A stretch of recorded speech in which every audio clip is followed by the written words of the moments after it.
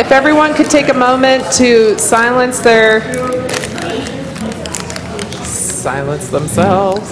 Everyone is very excited and enthusiastic about city council tonight, and I'm glad. It's probably because it's also my birthday, and we're here to celebrate city councilman birthday. If you could take a moment and silence your cell phones, uh, and please rise for the Pledge of Allegiance. allegiance to the flag of the United States of America and to the republic for which it stands, one nation, under God, indivisible, with liberty and justice for all. Well, but otherwise, I'm,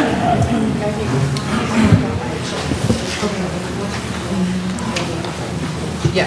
that's- but now- oh, on here. We have no proclamations on, the- on the agenda tonight. The first item is the consent agenda. Is there any item on the consent agenda that anyone on council would like to consider separately or has a question about? This would be the time, or a motion. I'll make a motion to uh, accept the uh, consent, adopt the consent agenda. Sorry. We're a little rusty. I know. What am I supposed to say? All right, we have a motion to adopt the consent agenda by Gwen and a second, Vijay. And Maggie is leaving now. Okay, are She we just asked good? Jamie to go get something. Maybe if we could go to the next one. There she is. Oh, there's Jamie. Okay, thanks. Yeah. All right, any questions or comments from council? All right, is there anyone wishing to comment on the motion to adopt the consent agenda? All right, seeing none, all those in favor, please say aye. Aye. Any opposed? Okay, we have two presentations tonight. The first is an update on the Asheville Police Department's open data uh, program. Project. Project, uh, I don't know what to call it. And Jamie Matthews is here to Yeah. talk to us about it. Good evening, Mayor and City Council. Um, I'm here again to give you guys an update on where we are with the A- releasing APD open data and other requested information.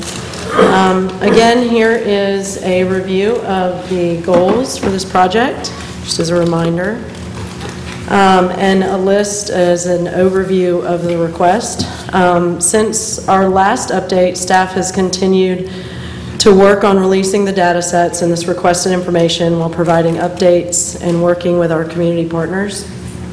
The blue check marks here indicate items that are complete. Uh, And at today's meeting of the governance committee, they discussed the recordings of committee meetings, and those are going to start within the next three months. Um, So we've experienced a few technical delays with some of the other data sets that we're continuing to work through. Um, APD has completed a needed update to their software um, that keeps their use of force and citizen complaint data. Uh, And APD will continue to work with that vendor um, to pull the data for first view before we can post it on uh, the open data site. Uh, Emergency calls and citations and arrests, our IT department is working with the county to release that.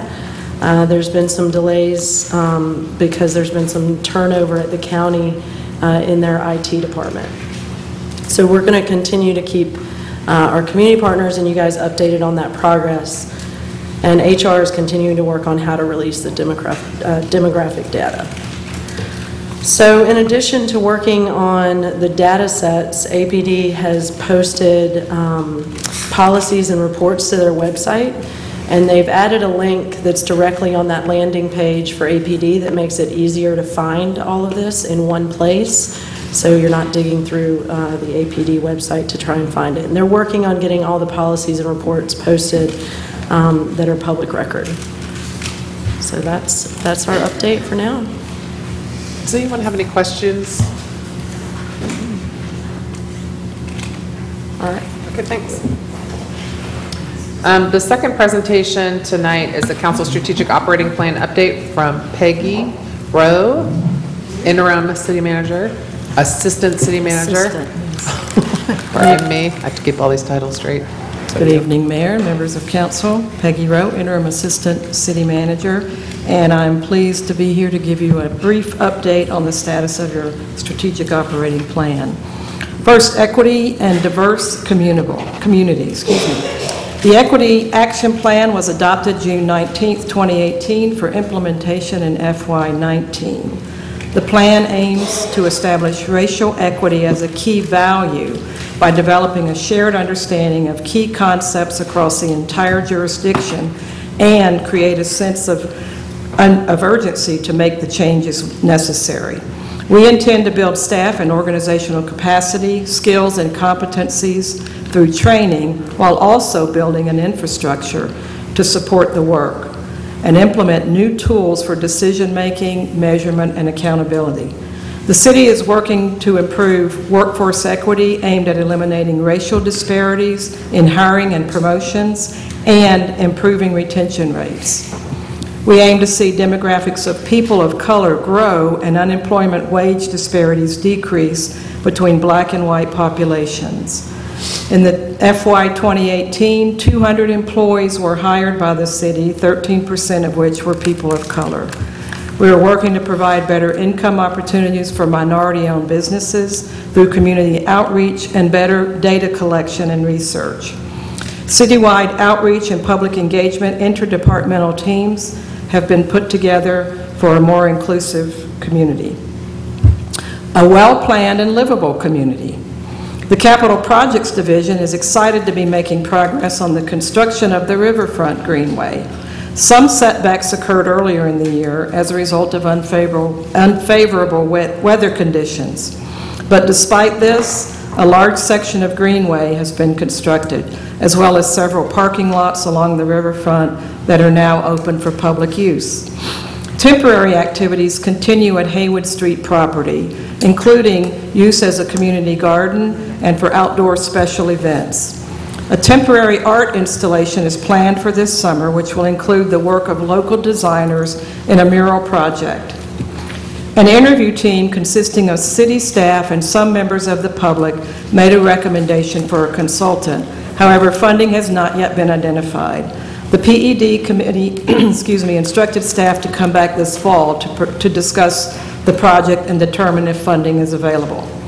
In July 2018, a groundbreaking ceremony was held in Montford to begin construction on the Recreation Center and 17-acre park to include improvements on the playground and the parking. The project also involves the addition of new recreational space and walkways connecting park features. The project is expected to be completed in the fall. A clean and healthy environment. Tonight, council voted on the Renewable Energy Planning Services request for proposal. This initiative explores what it would take to transition the city and county to renewable energy to to encourage a clean energy future. The RFP also seeks to reveal how a partnership with the county can be used to fulfill the municipal carbon reduction and renewable energy goals of the city and the county. We've completed the Community Clean Energy Policy Framework to reduce the dependence on fossil fuels. In addition, Duke Energy has agreed to a partnership with the City of Asheville and Buncombe County to reduce energy use in order to delay, to delay or avoid construction of a third plant in 2023.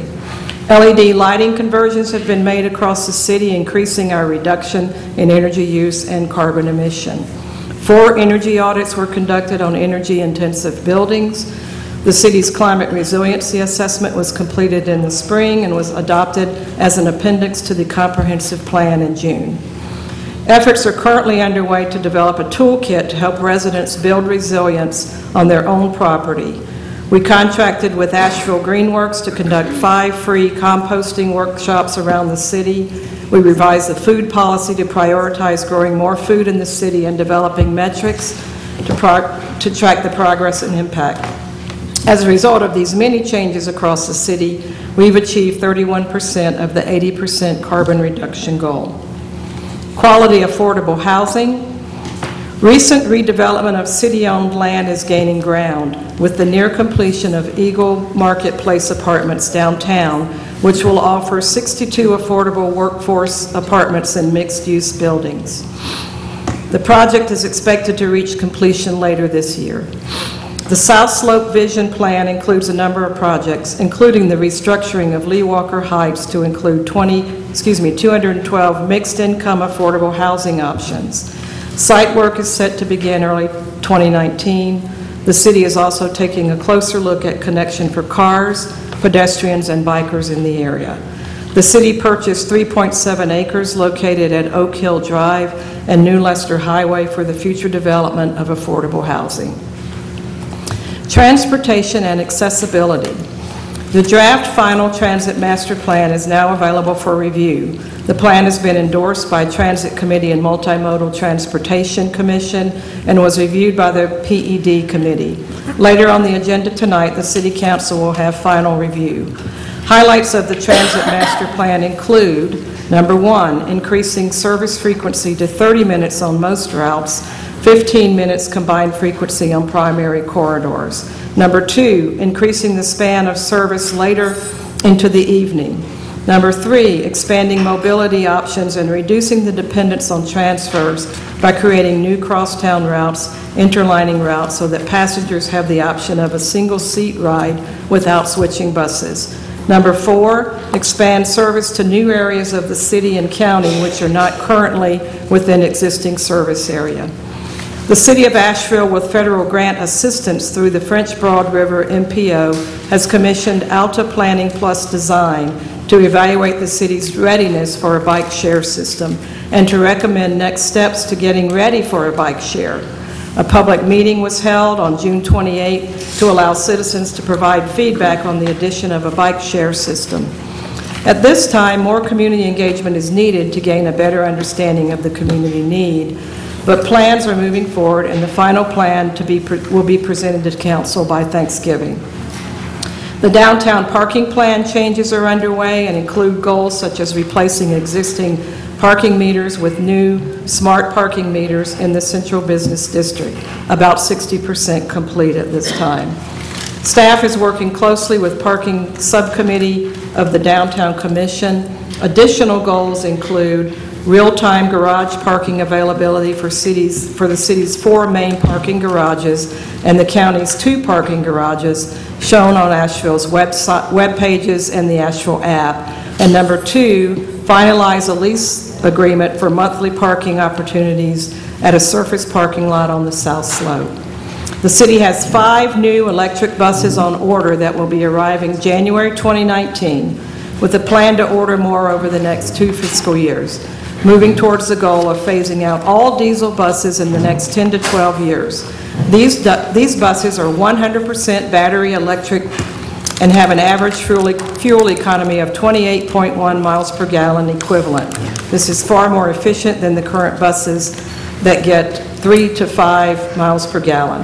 This will reduce our local emissions by over 1,000 pounds per bus per year and will help us meet the city's carbon reduction and climate mitigation goals. A thriving local economy, the minority-owned and Section 3 construction firms mentoring program is drafted. The program supports small businesses as well as minority-owned businesses. The program focuses on organizational development, financials, marketing resources, and mentoring groups. Asheville's Business Toolkit has been implement- implemented, especially in the River Arts District, where construction along the river has posed a potential setback for business owners while they remain operational. The construction is expected to bring disruptions to the district from now until 2020.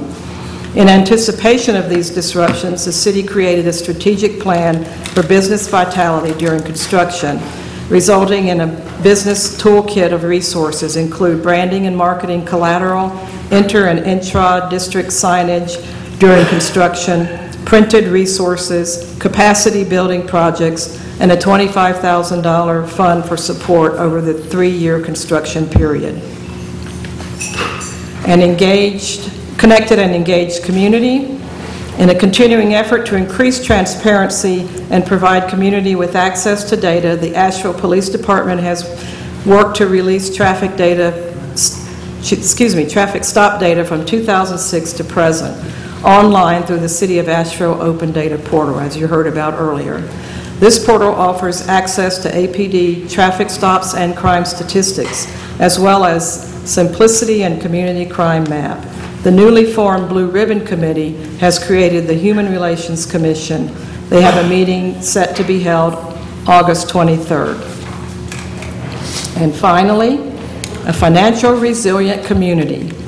Standard and Poor and Moody's recently upgraded our bond rating from a double A plus to triple A, considering Asheville's economy strong, based on its standing in a regional, as a regional center for trade, manufacturing, healthcare-related services for western North Carolina. As a result of this upgrade, the city of Asheville will be able to borrow money at a better rate than most other cities, due largely to a stable financial outlook and growing, well-diversified economy coupled with strong financial management and reserves. The city debt policy requires debt service not to exceed 15% of total government operating revenue. In addition, the city is poised to retire at least 50% of its existing debt in the next 10 years, allowing the city the capacity to implement a long-term capital improvement program funded primarily by new debt. In August 2016, council approved a general obligation bond referendum that, that would generate $74 million for public improvements financed by these bonds. This year marks the second year that these bonds are being put into use for improvements across the city. Eight projects have been completed already, and 10 are under construction right now. A dashboard has been created for those that are interested to, to further look into the use of the funds for these various projects, to support and understand, to, to support an understanding of the financial obligations that each project accompanies, and show the planning breakdown to ensure proper spending is applied throughout the project timeline. That concludes my presentation. Thank you all. Can I just mention a couple of other things that, Please. um, that I think are important? Um, The, on, I think both of these go under the transportation um, category and also the livability category, is just that we also uh, made the decision around the Charlotte Street um, road diet, um, which is going to make a big difference for that community. Um, We are still in active conversations with NCDOT about the Merrimon Avenue proposal, which um, didn't, which didn't sit very well with a lot of folks. Uh, And then um, we continue our diligent work with NCDOT on the I-26 project to make sure that that project, you know, benefits the people who live here and not just the people who are coming through. So. Thank you Thank you all. I have a- I have a question, I'm sorry. Um, You mentioned that out of 200 new hires, 13% were um, people of color? Yes, ma'am. Do you have the wage averages of those individuals? I do not, but I can get that for you. I'll be glad to find that out. And also, with you under. Section 3, the construction firm mentoring program, is Kimberlee Archie involved in um, the planning of that program? I believe she is, but I'll confirm that as Okay, well. thank you. Thank you. And actually, Esther, I have one more thing, since we're on Yes. trans, or since I was, since I like transportation. Um, You mentioned the parking garages, and I just want to make sure that everybody knows that the county parking garages are now linked on the Asheville app, so that when you're looking for parking downtown, you can also see what's available in the county decks. Um, I, on a couple of different uh, random Friday and Saturday nights over the last month, I have I've pulled that up. These have been beautiful Saturday nights in downtown Asheville, and there have been um, over a 1,000 empty parking spaces in all of our decks combined. So let's, um, I'm I'm about ready to declare the parking crisis over. uh, Until those, may not be parking where you want it, but there's parking. Thank you. How can that be? Lots of parking in downtown Asheville. Uh, Peggy already left, but I, I want to highlight another thing that's sort of slowly, it's been such a slow process, it's hard to put your finger on it, but, um, you know, Duke Energy started years ago trying to locate three substations in the downtown area, new substations, um, and they, they actually purchased three sites, and immediately we realized those three sites would not work. And so they have worked with the community, and I really want to thank them uh, for working with the community to find new sites. And the first one that, it's- and it will come to council for review, but the first one is uh, the old Volvo dealership on Patton Avenue. And I think the initial reaction to a lot of people was, hey, we don't want a giant substation when you drive into downtown Asheville. So uh, through a lot of community work um, and urging from the city and, and work on behalf of the city as well, a lot of our staff have been heavily involved. Duke is going to build the second ever um, GIS substation, which is a, um, help me, what does it stand for? Gas insulated. gas insulated substation. So the, the good thing about a gas insulated substation, well, first, let me just say the bad thing is they cost a couple million dollars more. Um, But the good thing is that they take up a significantly smaller footprint and you can enclose them fully in a building. So, um, so Duke, Duke will come to us for review of that project and has worked, again, really hard with, uh, with the neighborhood. So um, That, that, that, uh, that is a major, a major effort that's just continuing to happen, and a lot of people have been involved, so I want to thank everyone who's been uh, involved in that project. So later, stay tuned, we'll see, we'll see renderings of that design and the product that that's produced uh, later, later on. Maybe, I don't know if it'll be ready for August or not. I'm looking at Shannon, she's shaking her head. No, not yet. Okay. Anyone else want to add anything? Okay, as long as we're on it. Okay. I feel like Maggie was glaring at Peggy for going over 10 minutes. Was that over 10 minutes? Yeah, okay. That's okay. All right, so uh, we now are into the public hearing section of our agenda. The first item is a public hearing authorizing an economic development incentive grant to General Electric Corporation and Unison Engine Components, Inc. I assume Sam is doing this. Oh, yeah, I've got you on my, Sam Powers is here to present this item to us. Thank you, Mayor and City Council. I'm Sam Powers, Community and Economic Development Director, and I just realized this is my first council appearance with glasses, and so looking We up and down is a- is a challenge that I had not anticipated.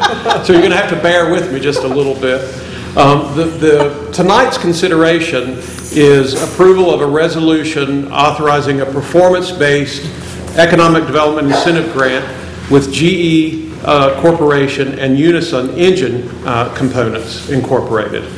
As council may recall, back on March 1st, Governor Cooper was in Asheville to make uh, a major announcement about this project, and so we've been moving uh, towards today and this public hearing since then.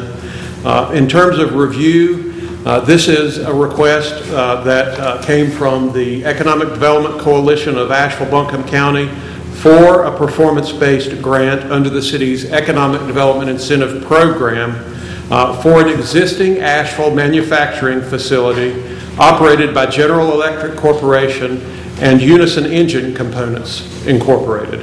The purpose of the city's participation in this grant would be to induce GE to make additional investments in the city of Asheville for the uh, expenditures to acquire and install machinery and equipment, make facility improvements, uh, which would increase the ad valorem tax uh, in the city as determined by the Buncombe County Tax Department in the amount of $105 million and create 131 new jobs with a median wage of $49,500. All new jobs will pay a living wage and are fully benefited. The city is considering a performance-based grant in an amount not to exceed $900,960. North Carolina state law requires a public hearing be held before an incentive grant can be awarded. The incentive grant for GE Unison supports the City Council's strategic operating plan as it addresses multiple uh, uh, components of a thriving local economy. The pros for this are that is, again, a performance-driven grant that is distributed only after job and investment is achieved or mutually agreed-upon performance benchmark- benchmarks are achieved. The grant is based on new ad valorem tax revenue in the city of Asheville. The grant supports the expansion of an existing industry in the city of Asheville, and it supports regional and state cooperation and economic development. The con in this project, the grant is formulated based on use of a portion, in this case 50%, of the new incremental increase from property tax revenue generated by the project for a five-year period. The physical impact for the project is an overall positive physical impact on tax revenues received by the city. Initially, during the grant period, the city will receive 50% of the new incremental property tax revenues, as well as the existing property tax revenues from the project. After the grant period of five years, the city will henceforth receive and capture 100% of all city taxes. Staff projects that the first payment of the grant uh, in the potential range of $175,000, again, uh, based on performance, would be budgeted and paid for most likely in the 2021 budget year. Staff's recommendation is that City Council uh, approve a resolution authorizing a performance-based grant uh, to support retention and expansion of General Electric Corporation and Unison engine components. Um, Michael McGuire, who is the plant manager for GE Aviation here in Asheville, is here tonight.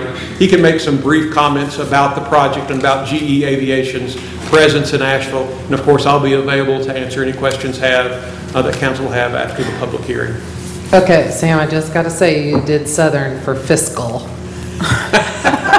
That's because I'm from the South. I Physical, physical, fiscal. Fiscal. yes.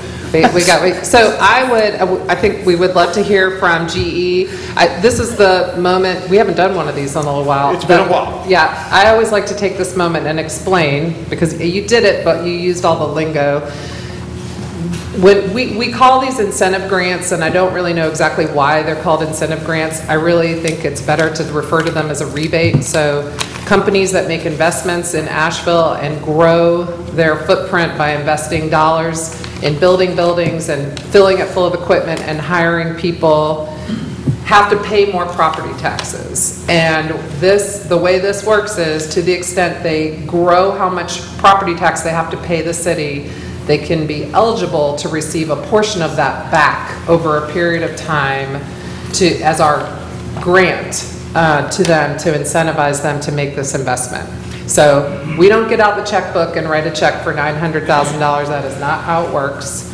But as they build it and produce more revenue, they get a chance to get some of that revenue back over a period of time. So I just always like to make that clear because incentive grants can be sometimes pretty controversial and people don't really understand how they function or why a city would make, make the investment. But from the city's perspective, that's how they work. Now, it's different for the county and for the state. This is a super exciting one, so let's hear from the company about this project. Welcome. Thank you, Mayor, appreciate it. Um, Just a little bit about GE Aviation and what we do here in Asheville, but we are, uh, have been around for a long time, actually since the late 40s. Uh, This particular site uh, has continued to see growth year over year over year, um, especially back in 2014, 2013 timeframe when we broke ground on a new technology that our business has invested in. It's called ceramic matrix composites.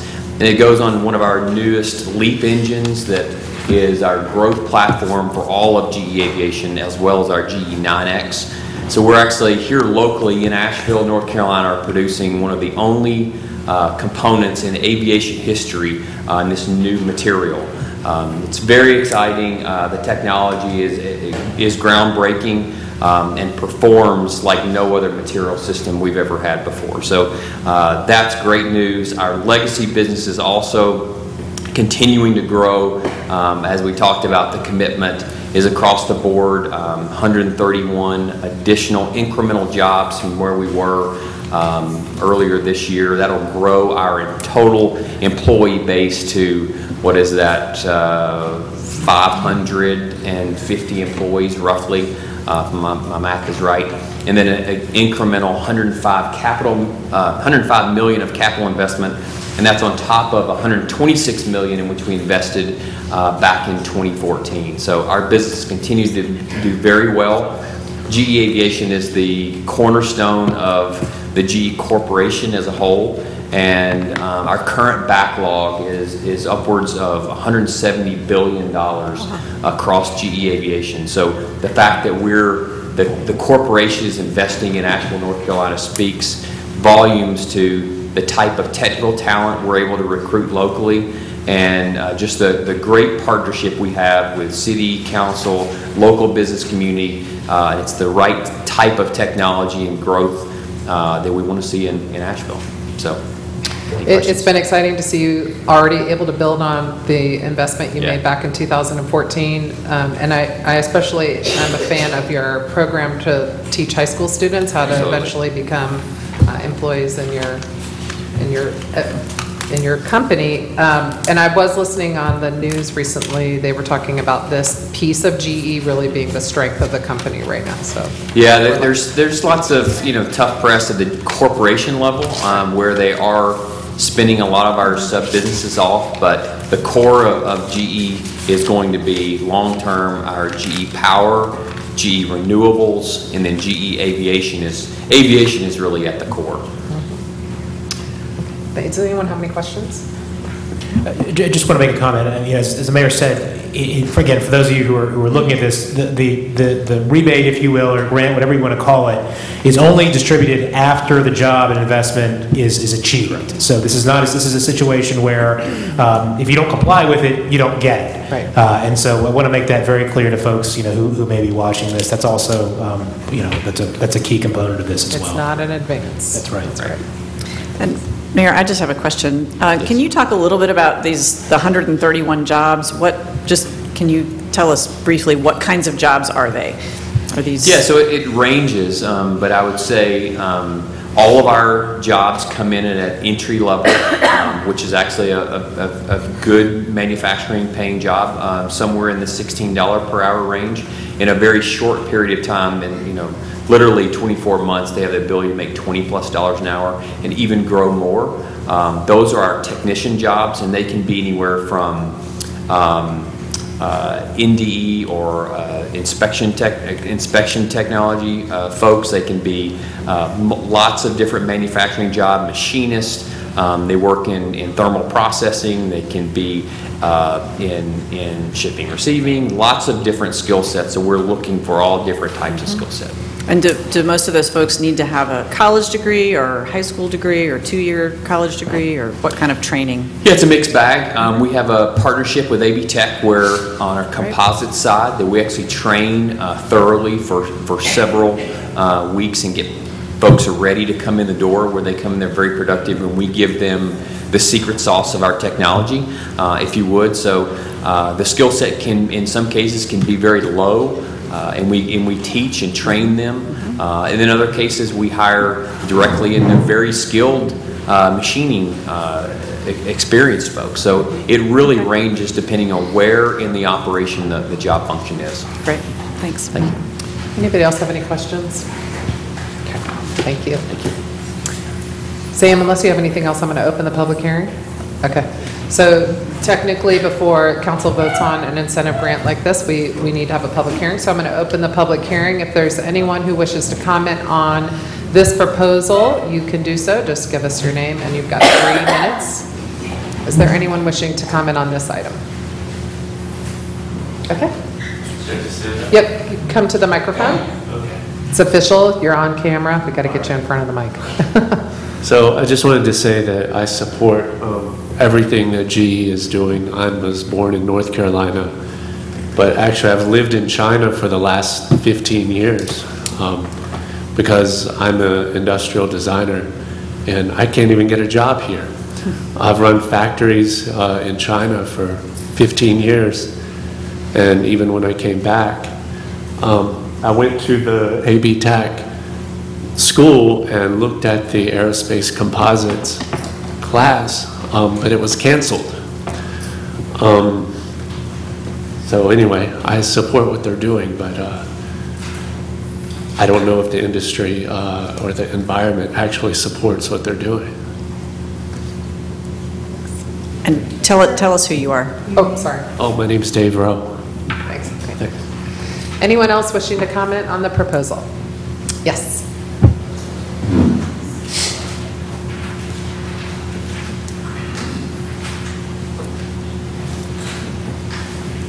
Good evening, my name is Tiffany Debelo, and my question is, um, what is the percentage of equity or people of color that actually work within um, GE? Lo- Locally, or the, are you talking about the? Locally within, Okay. Here in Asheville? We'll have to ask you. Okay, I'm going to have to do a reminder about um, conducting yourselves in the chambers this evening. No snapping, we went over that last time, so no snapping, and our rule's always been no clapping. We just had to expand it a little bit. I appreciate it, thank you. Um, Anyone else, we'll try to see if anybody knows the information. You asked about uh, the percentage of the workforce, and um, I don't, I lost track of, our oh, do you know the answer to that question? We can take, It's it's been a couple of weeks since we reviewed those numbers. yeah, you have to come back to that. I'd say it's, it's, it's been a, it's been a, a little while since we reviewed those numbers. Um, I would hate to give you a number that is not 100% accurate, um, and it's something I'd like to follow up, um, uh, with the council if that, if that works. Okay. Is there anyone else wishing to, who would, who would like to speak on this item? Okay, I'll close the public hearing. Do I have questions, comments, or a motion? I feel like I'm I'll make a starting motion. You guys here. I'll, uh, I'll make a motion that the Asheville City Council approve a resolution authorizing the performance-based economic development incentive grant uh, agreement to support retention and expansion with General Electric Corporation and Unison Engine Components. I have a motion, do I have a second? Second. Okay. All right, uh, unless anyone has any other questions. All those in favor, please say aye. Aye. Any opposed? We have um, one other item under public hearings.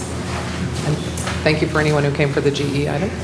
Um, It is a public hearing to consider an amendment to the Unified Development Ordinance to add standards to the outdoor lighting ordinance. And Shannon Tuch is going to talk with us about this item. Thank you, Mayor, members of council. Um, More specifically, this is an amendment to Article 11 of the Unified Development Ordinance, which includes, among other things, all of the standards that regulate outdoor lighting. And to summarize, this amendment seeks to achieve three basic things. Um, First, it wants to raise the lumen levels allowed for unshielded string lights in outdoor dining areas. Secondly, to establish new and updated standards to sports courts and sports field lighting. And then lastly, to make a few minor corrections and clarifications. Um, More specifically regarding the string lights, um, generally speaking, all lights in Asheville, outdoor lights, um, should be shielded. A very low luminosity lighting, which is defined as 15 lumens or less, is exempt in the ordinance, and they can be unshielded. Uh, There was a request from council earlier this year to allow unshielded lights that are greater than 15 lumens to accommodate outdoor dining areas, um, both for illumination, but also for some nighttime ambiance. Our development services staff researched some of the common um, lights that were available in the marketplace and helped us propose a standard of 25 lumens for incandescent bulbs and 50 lumens for LED bulbs. Um, The difference between the two standards appears to be rooted in the LED technology, and it is also somewhat reflective of of just what's available in the marketplace commonly. Um, Should also point out that this higher standard that allows these unshielded string lights applies and is available only to outdoor dining areas. It doesn't apply, it doesn't open the door to have string lights, unshielded string lights elsewhere, it's just for outdoor dining. Regarding the sports court and sports field lighting, um, as part of the city's capital improvements to park facilities, it was discovered that our existing standards um, did not adequately address the unique needs of uh, nighttime uh, sports facilities. Uh, These facilities typically require much higher levels of illuminance um, for safe and effective play. And also, the, these kinds of lights cannot be shielded, at least not in the same way as decorative or other utility lights. Um, I'd also like to point out that these higher um, standards apply only to those facilities that were defined in the attached ordinance, um, which most commonly are basketball and tennis courts for the courts, and uh, for, uh, to soccer, baseball, softball, and football for the sports fields. Um, It wouldn't apply to other facilities that are ancillary to another primary use. It wouldn't apply to, to some minor recreation areas. Um, Lastly, when we update an ordinance section, it's our common practice to see if there are any other minor clarifications or corrections that we would like to make, since we're tackling that section. Um, We did identify a few small uh, corrections, really more like clarifications, just to try to make the language a little bit more streamlined and easier for the average person in the community to understand. Um, It doesn't change how we apply the standards or interpret the standards, other than just to try to make it a little bit easier for folks to, to understand. Um, I'd be happy to answer any questions, or we may choose to open the public hearing. Any questions? I have, a quick question on the residential language. Um, A suspended string of lights when found on one of the following conditions. So one of them is restaurants, the other says, on property supporting one or two family dwelling units when located outside of the required setbacks. Is that when the lighting is outside the required setbacks? Yes. Okay. Yes, when the So you lighting, can't- buildings or lighting, uh, buildings aren't allowed in the setbacks either, they have to be Right. outside the setbacks. Oh, so you can't have lighting outside the required setbacks? Correct. Cannot? Cannot. The lighting must be The inside? mu- The Okay. lighting must be, not in the, not in the house, but, Right, but in their inside the setback. setbacks. Got yes. it, thank you. That was, that's not totally clear from this.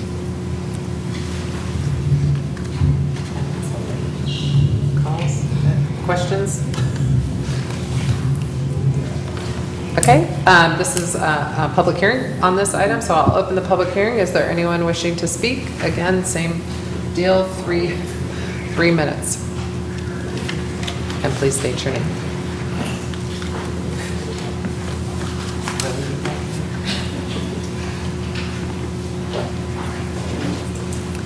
Good evening, Mayor, City Council, and staff. My name is Bernard Arghiere. I live in Asheville, and uh, I've been involved with the lighting ordinance over the years, and I have no opposition to the sports section of it, which is the sport lighting, sport fields.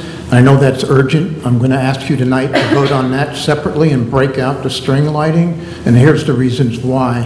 I'm not opposed to the higher lumen limits. I think those are good, but I think there are not enough other restrictions with it.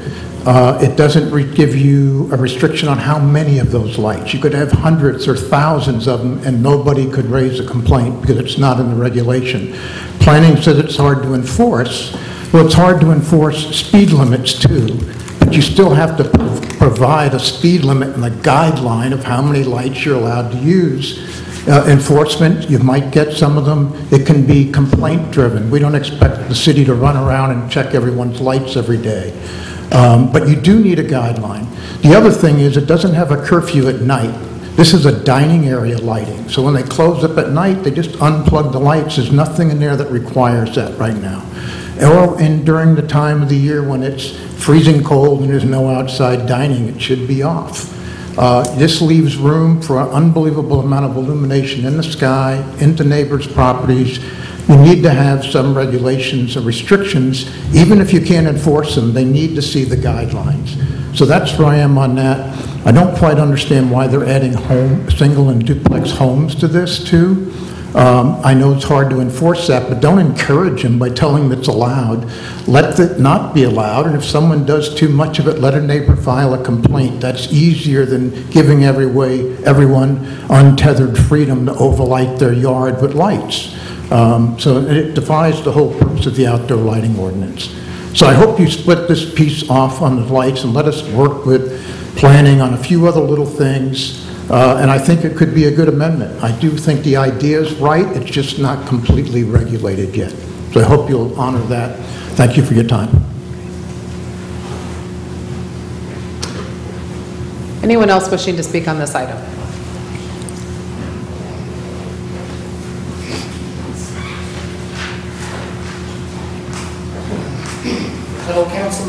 Uh, my name's Dominic Lessner. I've been a resident of Asheville since Hey, 91. Maggie, can you reset the, sorry, just one moment. Just- Didn't want it to be, but you, go ahead. Okay, I've been a member, uh, a resident of Asheville since 91. I'm a resident of West Asheville since 2004. I live in East West Asheville, it's kind of the area between 240 and the, and French Broad. Uh, As you know, there's been a lot of development in that area over the last few years. Uh, I live very close to Beecham's Curve, which um, a number of uh, new businesses have opened up there. And the reason I love Asheville, I've been here uh, in the mountains is because I enjoy feeling like I'm part of the outdoors. And uh, I've noticed uh, uh, in the past few years, I've noticed a, a, uh, a deterioration of our outdoor light, of our outdoor skies, and uh, I, uh, I'm very opposed to the amendments on the uh, outdoor lighting ordinance. Uh, As was stated by Mr. Arghiere, that there's no limits on the string lights, Uh, so I I would like to uh, consider a limit on those number of lights per a certain area. I would also uh, like to uh, um, suggest that that any kind of opposition to outdoor lights for single and double-family dwellings be, uh, be moved to complaint-driven. Uh, So I see that we're about to have a lot of light outside, unintended. Uh, So I just want to see some, some provisions made for those amendments, uh, instead of just having an open court of what people can do. Okay, anyone else wishing to speak on this item? Okay, I'll close the public hearing.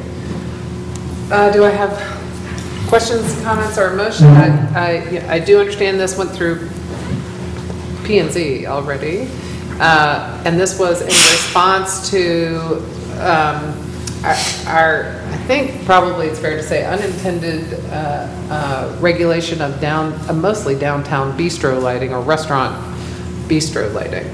So I, I appreciate the work that's gone into trying to revise our ordinance to navigate uh, lighting, pollution, uh, and people needing to run businesses that have outdoor seating and they want outdoor lighting. Um, Before I make a motion, I would ask if staff could address some of the concerns that were made by some of the individuals that came to the podium, uh, particularly the number of lights and just some of the comments that were, were made.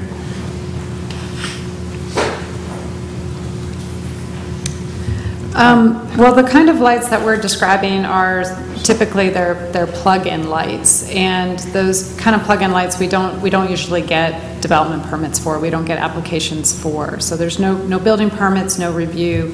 So from the review side of it, things aren't, um, things aren't checked. And so uh, it would, it would be entirely falls upon the shoulders of our zoning enforcement staff to go out there and enforce a number of lights per, or strings per, I don't know, square foot, per area. I'm not sure what the standard, the appropriate standard would be.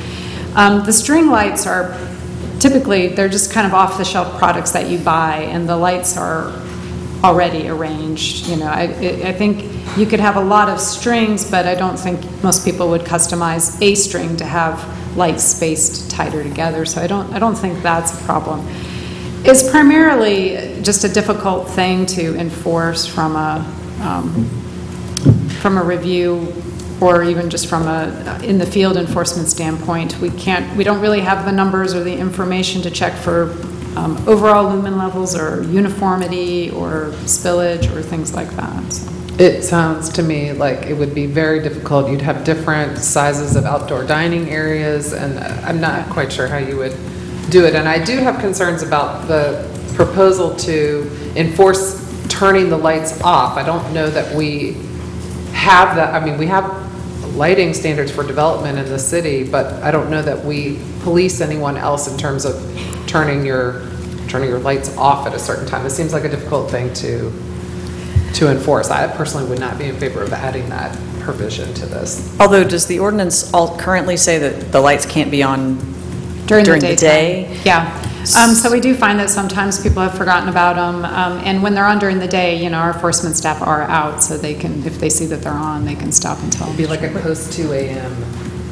Right, I mean, I guess I'm not, you know, I wouldn't, I wouldn't expect that our enforcement guys would be out, you know, driving around, but, but there are people out driving around at 2 AM, and um, again, if, if enforcement is complaint-driven, that, that, that that could be, that could be something. Now, this has gone through P and Z, if, I mean, are we allowed to make any changes? Oh, yeah, I mean, I think there are some sending it changes we back? can make, yeah. Um, I I mean, and I would Oh, defer you to might Robin to help regret advise offering us, that. depending on what the change is.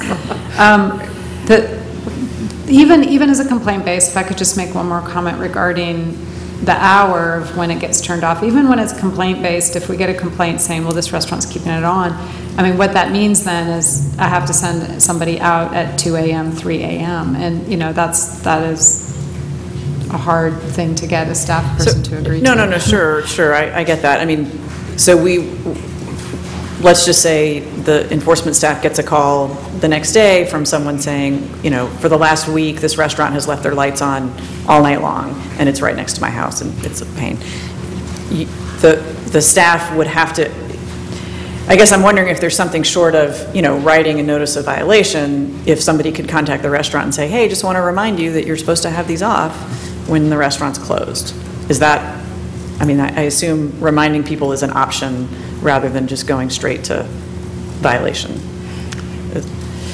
I, I mean, I, yeah, we can do that. I mean, I think we can do it with the way it's written now, too. So if we get a complaint about it, I I mean, we do often sort of uh, kind of liaison between property owners and, and neighbors who are experiencing some sort of nuisance issue. Right. I guess I wouldn't, I wouldn't, I mean, that seems like an easy, a relatively easy change that could be made, maybe even, I don't, I don't have the ordinance in front of me, but even in the same paragraph around, that says they can't be on during the day, just that they have to be, they have to be turned off at the close of business and stay off until the business opens the next day or, or until, I mean, that seems an easy change to me. It is an easy change, as far as the ordinance goes. And is that something we can do tonight without sending it back to planning and zoning? I, I would defer to Robin. I think it would just be simply adding some language saying that lights need to, rather than being um, not on during the day, that they, we would clarify that to say, be not on when the business is not open. It, it, it should be fine. I mean, the question is whether, you know, you would have gotten some comment on it had that, had that been in the amendment, but I can't imagine that being a situation that would call people to be upset they couldn't have, be heard. They couldn't have the lights on when nobody's there. Right, or all night, or whatever. Right. Okay, if everyone's excited about this idea, then I won't stand in your way. Go ahead. Are you going to make a motion?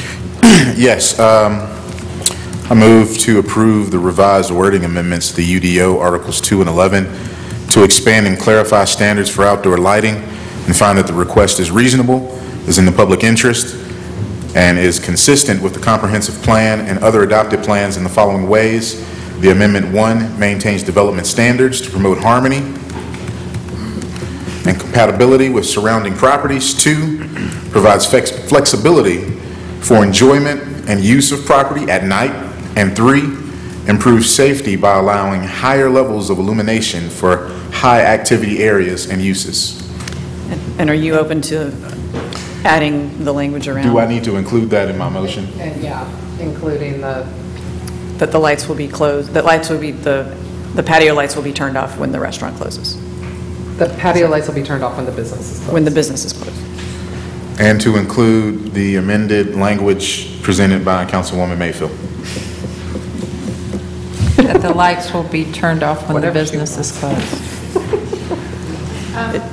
Would the council be open to adjusting that just slightly to say when the um, outdoor dining area is not in use? Sure. Because then that would cover the cold yeah, weather. That's great. Second. Okay, we have a motion and a second. Uh, All those in favor, please say aye. Aye. Aye. Any opposed? Okay, thanks. Um, That concludes our public hearings agenda, but now we have some new business items. The first is a resolution adopting the transit master plan.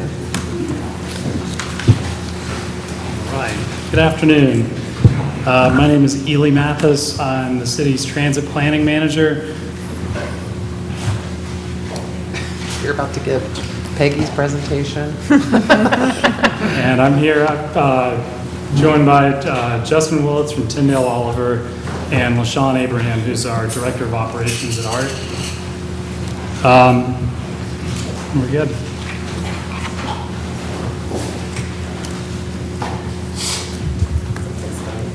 There we go.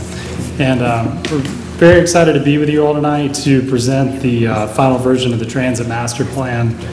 Um, I was going to give you a more detailed update about the, some of the key points of the plan, but I think, you know, Peggy already beat me to that earlier, so we'll, we'll leave it at that. But uh, the plan's gone through numerous uh, rounds of public comment and changes, and um, at this point, uh, we've got a very strong plan. Um, It's been endorsed by a number of advisory boards and stakeholder groups, um, you know, including the Trans Committee, Multimodal Transportation Commission, Housing Authority, the Drivers Union, you know, that's just to name a few. Um, You know, I think the plan is very ambitious, and it recommends major service expansions in the first year, as well as uh, continuing service expansions in every year following. Um, So it's a great plan. I think we're in a really good spot with it at this point. Uh, Justin from Tindale Oliver is going to give you a more in-depth uh, review of the plan, and I'll turn it over to him. Hello, everyone. Uh, Thanks for the intro. Uh, I'm Justin Willits with Tindale Oliver. Uh, A few familiar faces to those I haven't met. Hello. Um, So I'm going to give you a relatively uh, brief overview. Um, If I'm going a little too fast, if you have any questions or concerns, slow me down, let me know, and I can clarify. Ely's going to step in towards the end and uh, answer any questions that may be more city-specific. So with that, I'll get started. Um, so just to take you through uh, the timeline, uh, we started in October, a lot of data collection, and heavy analysis, and involved the community throughout the process, uh, a lot of updates, and uh, has got us to, to this point in the plan. Uh, This, this is the long list of all of the outreach we've done. Um, Some of the highlights from that are uh, these takeaways, you know, what we learned throughout the project. Uh, Service, existing service levels and funding were not adequate to address the needs of the community. Um, A lot of the issues we needed to address were on-time performance related, uh, which necessitated kind of an increase in the quantity of service to address the quality of the existing service uh, in order to kind of enhance the mobility options for the area and address some of the community concerns we heard at the early part of the pro- uh, project uh, when we had proposed to kind of scale back some of the service area. Uh, We really wanted to keep the existing coverage and focus on improving uh, access and some of the frequency without sacrificing any of the coverage area. Uh, One of the other things uh, we heard throughout the project was that some of the transferring downtown was seen as an impediment to the service and the quality of service, so many of the changes you'll see in the plan are focused on moving the, moving transit through downtown a little more quickly. Um, So just keep that in mind as I describe some of the service changes. Um, The summary of the sources of input uh, were primarily through the steering committees and and a couple of community workshops, uh, two formal public meetings, uh, and a bunch of uh, discussion groups with smaller stakeholders and community groups. Um, We gave regular updates to boards and commissions, as he said, with the TC, MMTC, and the neighborhood advisory committees. And of course, the rider surveys, online surveys, and paper surveys were used throughout, throughout the project. Um, So the big, big picture changes uh, for the implementation year of 2020, which is fiscal year 19 or July of next year, uh, was the introduction of the crosstown routes, a couple of them in year one to create that faster travel time through downtown, um, removing the need to transfer and kind of making those, those trips a little quicker, hopefully attract some more riders to the system and make it a little uh, more efficient for people already using it. Uh, Another big improvement um, was with the W1 and the W2. Those routes have kind of critical on-time performance issues, and the way we're uh, addressing that is we're adding another route to serve PVA uh, on its own every 30 minutes, so we're not reducing service by taking the W1 and W2 out of PVA. Uh, This is also uh, a benefit to the riders uh, west of State Street. They'll have a quicker ride into and out of the downtown area, and it's also a benefit for Haywood Road with 15-minute frequency from State Street into the downtown. Uh, Some other changes that you'll, you'll see in the implementation year uh, have to do with the S2 the 170 and E2, but the S2 is now interlined with the W5, so will similarly act as a crosstown route, uh, still passing through the, the transit center, but provide another uh, one-seat ride through the downtown area, and then start a one-way loop serving Social Security Administration, and then coming back through Kenilworth uh, on the inbound trip. The 170 and E2 uh, were analyzed kind of together because they serve a similar, they serve Tunnel Road. But the E2 was serving Haw Creek on the inbound trip only, so you would have to ride out the E2 to catch it, to get to Haw Creek uh, back on the inbound. The E2 also had some on-time performance issues, so in order to address those, we've pulled the E2 out of Haw Creek and are now serving it with the 170. Uh, That service is every two hours, so not as frequent as the E2, but it does serve it in both directions, so it's not only accessible in one direction. Um, And that, the service on the 170 is also being expanded with nine trips a day, the first being at 5:30 a.m. and the last being at 9:30 p.m. Uh, and one of the uh, other improvements was interlining the S4, N1, and N2. In order to increase the frequency on the S4 to 30 minutes, we needed to steal a little time for, from some other routes, so we've interlined them with the N1 and N2, so that you also get that crosstown uh, service pattern without a lot of delay at the downtown station. So if you get on the N1 or N2 and ride south on Merrimon, you can stay on the bus and get down to the River Arts District and AB Tech. Um, And there was a slight alignment change on the S4 uh, as well. Um, I'm drawing a blank on Bartlett, on uh, Bartlett Street, so to serve Bartlett Arms, which previously had service. Uh, One of the things we have done is preserve the service on Beaver Dam Road. Um, Earlier in the project, we had looked at maybe eliminating that service, but based on some feedback, we've, uh, we've kept it in the plan and actually increased the service hours uh, on Beaver Dam. So hopefully that will encourage a little more ridership out there. And probably the most significant change for the first year of the implementation was extending uh, weekday and Saturdays to 10 PM or later on almost all of the routes, um, which makes up a big bulk of the increase in service hours, which I'll talk a little bit more about in just a moment. Um, As we were tasked uh, in this plan with looking at extending services out into other parts uh, of the county, and through that uh, analysis, we've recommended a few uh, service expansions, uh, primarily with, on the existing W4, which is now the Crosstown 4, um, out New Leicester Highway to serve the Ingles and some other, some other good uses out there. We've estimated the required annual service hours uh, to be considered for financing uh, partnerships with the county or private interests, whatever the case may be. Um, One other place we've recommended uh, an extension of service is Weaverville uh, via Broadway, um, which is another place where uh, we're recommending some partnerships are explored for financing the uh, the service into those areas.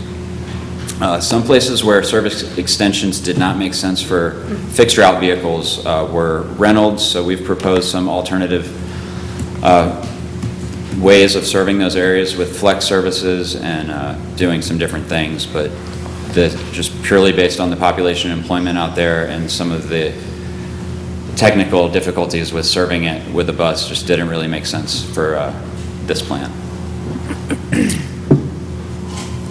Uh, So, back to uh, some of the crosstown routes, uh, we recommended them eventually coming out of the the downtown station to pass through town even even more quickly, Uh, but we we did recommend that there be a few stops added at Pack Square. This will help, uh, really, the operators uh, primarily to take quick layovers there, because they won't be in the downtown station, but can also really help improve access for the east side of downtown.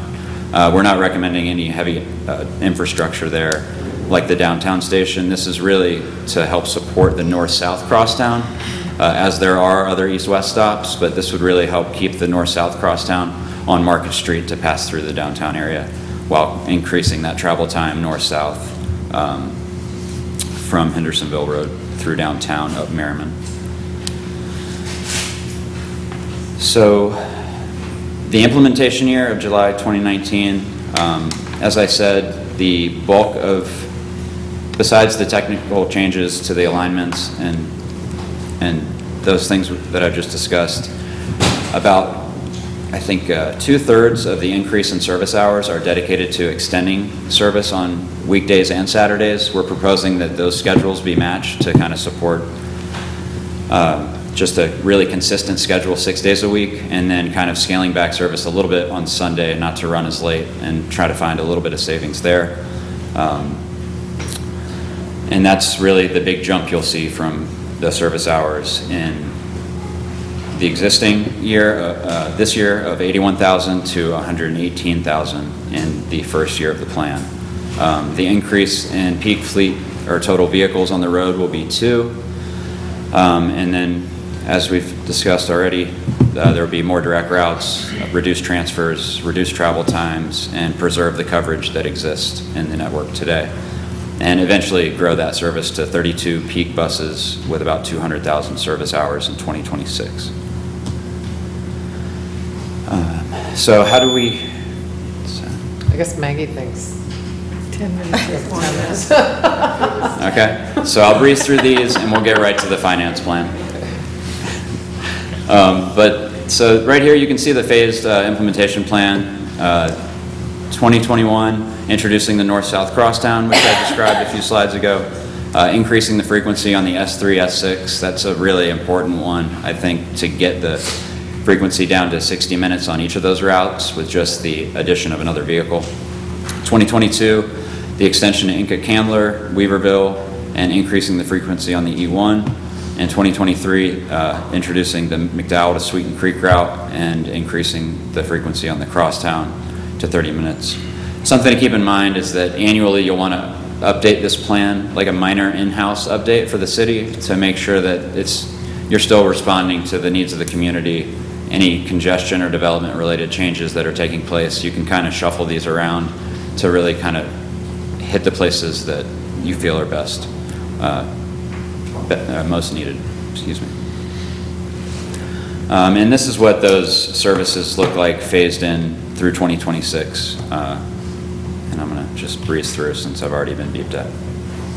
Um, We were also tasked with looking at the fare policy, uh, and what we've, what we've done is, you know, we've identified that you, you have a very low fare compared to your peers. Um, It's great for access to the system and uh, equity for people using the, the service. Um, we- We've, we've identified what the fare should be if it were to be raised, to be on the same level as other communities of your size and characteristics. Um, We've also looked at what the fare-free impacts would be and recommended a weekend pilot um, be done as kind of a test case. The one thing we we're cautious about is going straight fare-free on the weekdays immediately would have the potential to overburden the system where you may be leaving people at the bus stops because you don't have the capacity to serve all the demand that's out there. And that's kind of highlighted in the uh, lower table there, where there has been overcrowding uh, reported this year. Um, Those would be the routes where you wanted to keep a close eye on to see what those weekend impacts are. So if you were to go fare-free, you would know to look out for that weekday ridership may really be problematic to, there may be people being left at stops on those routes. So it would, you would want to be ready to have maybe an extra vehicle to put on the road to address that capacity issue so that you're not leaving people stranded because the demand has grown so much. Um, We've also included a facility analysis, um, which is a little more detailed in the report, but in order to handle the, the growth in service and the number of vehicles, it's something that needs to be uh, explored very soon. And we'll start to have capacity issues at the existing facility by 2023 or 2024. Um, So that's something to keep your eye on, and that is built into the long-term financial plan. And then in 2024, we're recommending an update to the master plan. Um, Is typically done by a consultant, but the, the annual plans leading up to that um, are just to kind of reshuffle the service as you grow over that time, but that would be when you want to set the tone for kind of the second half of the plan. and decide where to allocate your resources. And I'll invite Ely back up here to talk about the operations budget, but as I said earlier, that the jump from 19 to 20 of 36,000 service hours, about two-thirds of that are going into expanding service from 9, from anywhere from 8 PM till midnight on some of the core routes, and a few of those are actually additional vehicles on the road, uh, are about a third of that increase. We're over time, so I'll try to go through this pretty quickly, but the, uh, the table that we're looking at here at the bottom is a uh, comprehensive 10-year budget that includes all total expenditures over that time, that 10-year timeframe, uh, operations, capital for buses, um, facilities, as well as city transit staff. So this, you know, this is a a massive table, and a lot of these things are actually already programmed into the capital plan. So all of these, the bus purchases for the next five years are already in the CIP. So I don't want, you know, you to see this number and be kind of scared away by it. The, the more important table to look at is the top left. This uh, shows the increase in our operating budget from the current year's budget. So, you know, implementation year, which would be next summer, July 1, 2019, or FY '20, is about 2.5 million. Um, You know, so that's, obviously, that's not an insignificant amount, but that's definitely more manageable than what you see in this other table that includes the capital-related expenses. Um, This table on the uh, top right kind of highlights the critical funding needs that we're going to have in the near term. There's the FY20 operating budget, which is going to support this major expansion in service hours in that first year. Um, The $18,000 local match for a facility study, um, and the $10 million local match for actually building and designing that maintenance facility. Um, You know, once we do that facility study, we'll have a better idea of what the actual total costs are going to be. Right now, our preliminary estimates are in the range of $50 million. Um, You know, and that could go up, that could come down once we do the study. Uh, We're assuming that we would have an 80% federal match to help pay for that. So we'd be looking somewhere in the ballpark of $10 million local funding to pay for that.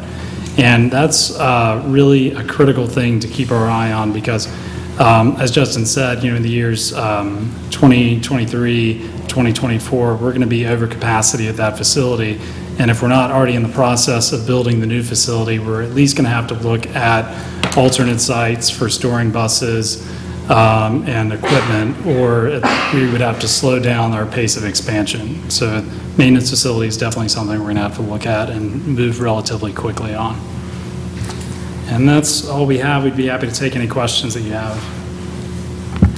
I have questions about the facility. Um, What's the, so the, our, our facility currently now is, is reaching its 50-year capacity, um, or usefulness. Once a new facility may be constructed, what is the usefulness of, of a new facility being constructed, and what is the time frame of having it? Will, it- will, will we finance all of that to be paid for at, at construction?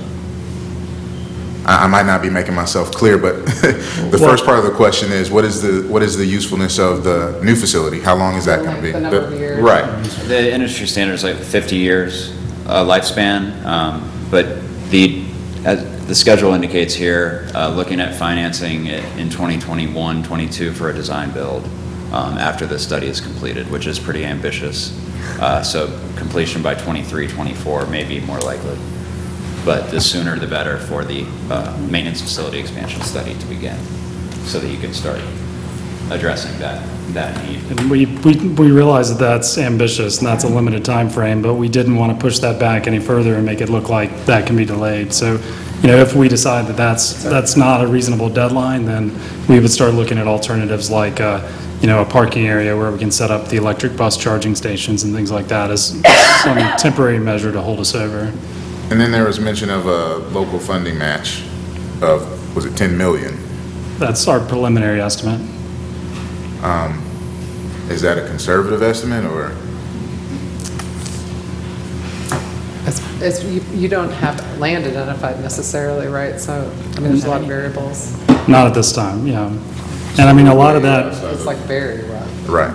Right. A lot of that would depend on the outcome of the study, and that study would look at not just the needs of our current transit system, but I'm assuming the potential to share a site with other city facilities, um, maybe not sharing a building per se, but sharing a campus, um, or potentially sharing facilities with the county, you know, that would all be looked at in the facility study. And based on that, there may be some cost savings there. Is it, is, is potential growth of our system itself included in that? For future Yes. growth? This eight to 10 acre estimate should cover all of our future needs over that period. Eight to 10 acres. And Ely, I've got a question, actually, this is really more for Kathy. Um, th- So we did not budget to do the feasibility study in the budget that we just adopted, correct? Well, um, it's not in the budget, but we are looking at federal grant opportunities for that. And assuming that we do get those grant opportunities, we think we can find the $18,000 local match within our existing budget. Right. So we've applied for it within our, uh, the build grant application that recently went out, and I think we have a a fairly good chance of getting that. And when do we hear about that? Um, I'll have to check on that and find out what the, the timeline is. I just, I just want to flag, um, in, in a discussion last week, we, um, we, there was, uh, there was a sense that we weren't going to do a study associated with the fire department, which was going to free up about $55,000. So um, Kathy, I I mean, you guys obviously need to figure out if this study or something else is the right place to put that money, but if, if it is helpful in getting this started, I would be in favor of, of moving that over. Yeah, I feel confident that we would be able to find the $18,000 match, whether it's the savings from the fire study. Uh, It would come back to city council in the form, it would go to finance committee and then come back to city council for a budget amendment. I, I guess I'm, you know, if it's going to be five months before we're going to hear on this grant, I don't, I don't know if finding the money somewhere else would, at, at least to get us started, would be helpful. Well, does it knock us out of contention if we go ahead and fully fund it? Um, I can check on the timeline for the grant and let Kathy know about that, and then that'll give you more information to make a decision on. I mean, if it doesn't. Great, right. Um, Can you say um, how the state budget that was just passed this year affected transit for the city, transit funding? Um, Yeah, the state budget was passed, um, you know, we found out this a couple days after our budget was passed, and there was about um, a $250,000 loss to our funding from what it was last year, what we were expecting for this year from our state SMAP funding. SMAP. And, you know, I don't, I- Uh, Yeah. I don't even know what the It's the acronym- I don't acronym know that's fun. Justin does. I- it- Yeah, it's confusing. Um, But it's Okay, yeah, state a funding that we use for operating. Mhm. Um, And we've, uh, we're making adjustments to our existing budget to try to accommodate that. Um, And um, we're hoping that revenues will come in a little bit higher than projected, and that might help fill the gap too. And that's something we're going to keep an eye on as we get further into the budget year and see if we need to make further adjustments. So that's, that is a trend that I'm hearing we're going to continue to see, that the legislature is going to fill some of their gaps with SMAP funding for cities to use towards transit. Um, You know, and the way it's couched is, well, do you want us to take it from bridge maintenance, you know? But, uh, but unfortunately, that, that, uh, I understand the overall statewide cut was about 30 million dollars this year, and of course, nobody had a chance to talk about it because the budget came, came through without any committee hearings. Uh, Just uh, two quick questions, Mayor, did you have any more? Uh, Just in- in- Two quick questions. In Kathy, in terms of the, uh, to to Councilman Young's question about the, um, the maintenance facility, do we have any, do we have any funding sort of set aside in our capital program for any of this? So so there's there's nothing there. Um, We have it, we don't have the funding set aside, but we have the capital program, we have identified the projects. Does that make sense, right? So, so, so do we, I I realize, that, you know, we, we don't necessarily have this in there because we haven't approved it in there, but is, is, is there, I guess the question I'm asking is, is there any sort of, kind of, uh, you know, marker in there or, or some amount in there that, that, that could, that could go to this currently in the capital budget? Um, If you all remember, we had identified some money that we had put into a kind of a capital reserve that was Mhm. around 5 million that we decided not to program. Okay. We used some of that um, to be able to buy the turnout, the second turnout gear for the fire department this year, the 750,000. So I think there is some monies, I don't know if it would be enough to make that match, we would do that evaluation, but we've held that money carefully to make sure we're spending it on the right things. Got it, got it. Uh, Just the other point, actually, this is more of a comment. Um, I- You know, I wanted to thank you all for just the comprehensiveness of this. I mean, in terms of reading through it, um, I mean, it's fantastic in terms of the service level. The other thing that, that that I really appreciate is, you know, you you all do have, you know, some estimate of financing. Uh, And, and that's really helpful to me, and, and I hope, you know, when we get other plans here that, that come to us, as hard as it is to estimate financing, which is not the easiest thing in the world to do, I know, um, it's just, it's very, very helpful for, for those of us on council to, to kind of think about, you know, because, you know, if we, we, you know, I assume we're going to pass this tonight, once we do that, there's going to be the expectation of actually implementing it, right? Uh, And a lot of that's going to have to do with where the funding comes from. So I just wanted to commend you all in terms of, of the outreach you've done, you know, the final product you have, and just the thoroughness with which you all, uh, you know, did this plan. So thank you. I'll only add one more thing. Um, Considering that, you know, we're going to be jump- jumping into our budget process a little bit sooner this year, this is something that we would need to flag and, and stay ahead of, considering that some of these plans are three and four years out. How we start planning in this current fiscal cycle is going to roll all the way till we want some of these uh, things to happen, uh, especially as it considers the, uh, the facility there. Um, I did have one other question also, um, before you go. The fare-free transit, it looks like it's, it's being asked to be implemented in July of 2019 for just the weekends. Once that, that's gonna, once that goes into effect or whatever, that's gonna be for a full fiscal year, I'm assuming, and then come back with recommendations. How is that gonna be, how is that analysis gonna be done on whether or not, what recommendations are made? Well, um, as Justin said, the primary concerns that staff have about um, going fare-free are really more related to capacity issues, um, which is why we wanted to do the trial on the weekends. We have lower ridership on the weekends. There's um, less concern about buses being full and people getting left at the stops. That, that's really our concern. We don't want to make a major change to fare policy and then have that kind of blow up all these other things that we're doing. And, you know, maybe that is being overly cautious, but, you know, I, that's certainly what, what I would recommend. Um, You know, we would look at that and come back to council, and based on, probably within that first six-month period of doing it, we could start developing some recommendations and say, yes, we were overly cautious, we're not seeing these massive spikes that are going to interrupt service. Um, But that, that would be the primary concern that we're looking at. And, um, you know, as far as the funding side of it, that would really be um, operational consideration that council would have to make. You know, that's not something that staff would recommend on one way or another. I will, I will add to that, though, that currently our fare revenues are uh, a little bit over $800,000. And as, as we make this big service expansion, I'm expecting that they would easily go up to over a million dollars. So that is kind of the amount of money that we're talking about. There are some cost savings by removing fares. We wouldn't have to add new fare boxes in the future. Um, You know, you don't have to have the staff counting money. You know, there's some basic cost-saving measures there, too. But, you know, it is um, not an insignificant amount of money that we would be talking about. I would be interested in, um, you know, once this goes into effect, maybe getting some quarterly reports just on data.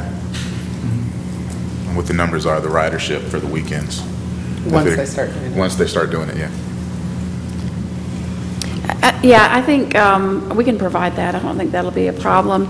Uh, I, I appreciate the work that's been done by the consultant, especially by staff, uh, around this issue. I would also ask, uh, and staff is going to be kind of trying to line this up, uh, we believe there is a strong connection between uh, health, people's health, and their access to transportation. So we are going to be moving ahead with an eye toward looking for funding locally, potentially through the new um, Mission Foundation, as the ability to be able to have this transit system grow. Ely mentioned this is a very aggressive system that helps identify some of our folks who probably are in the biggest need uh, for that, uh, those services. So we are keeping an eye on the opportunities to be able to access potentially some of that funding for this purpose. All right, thank you very much.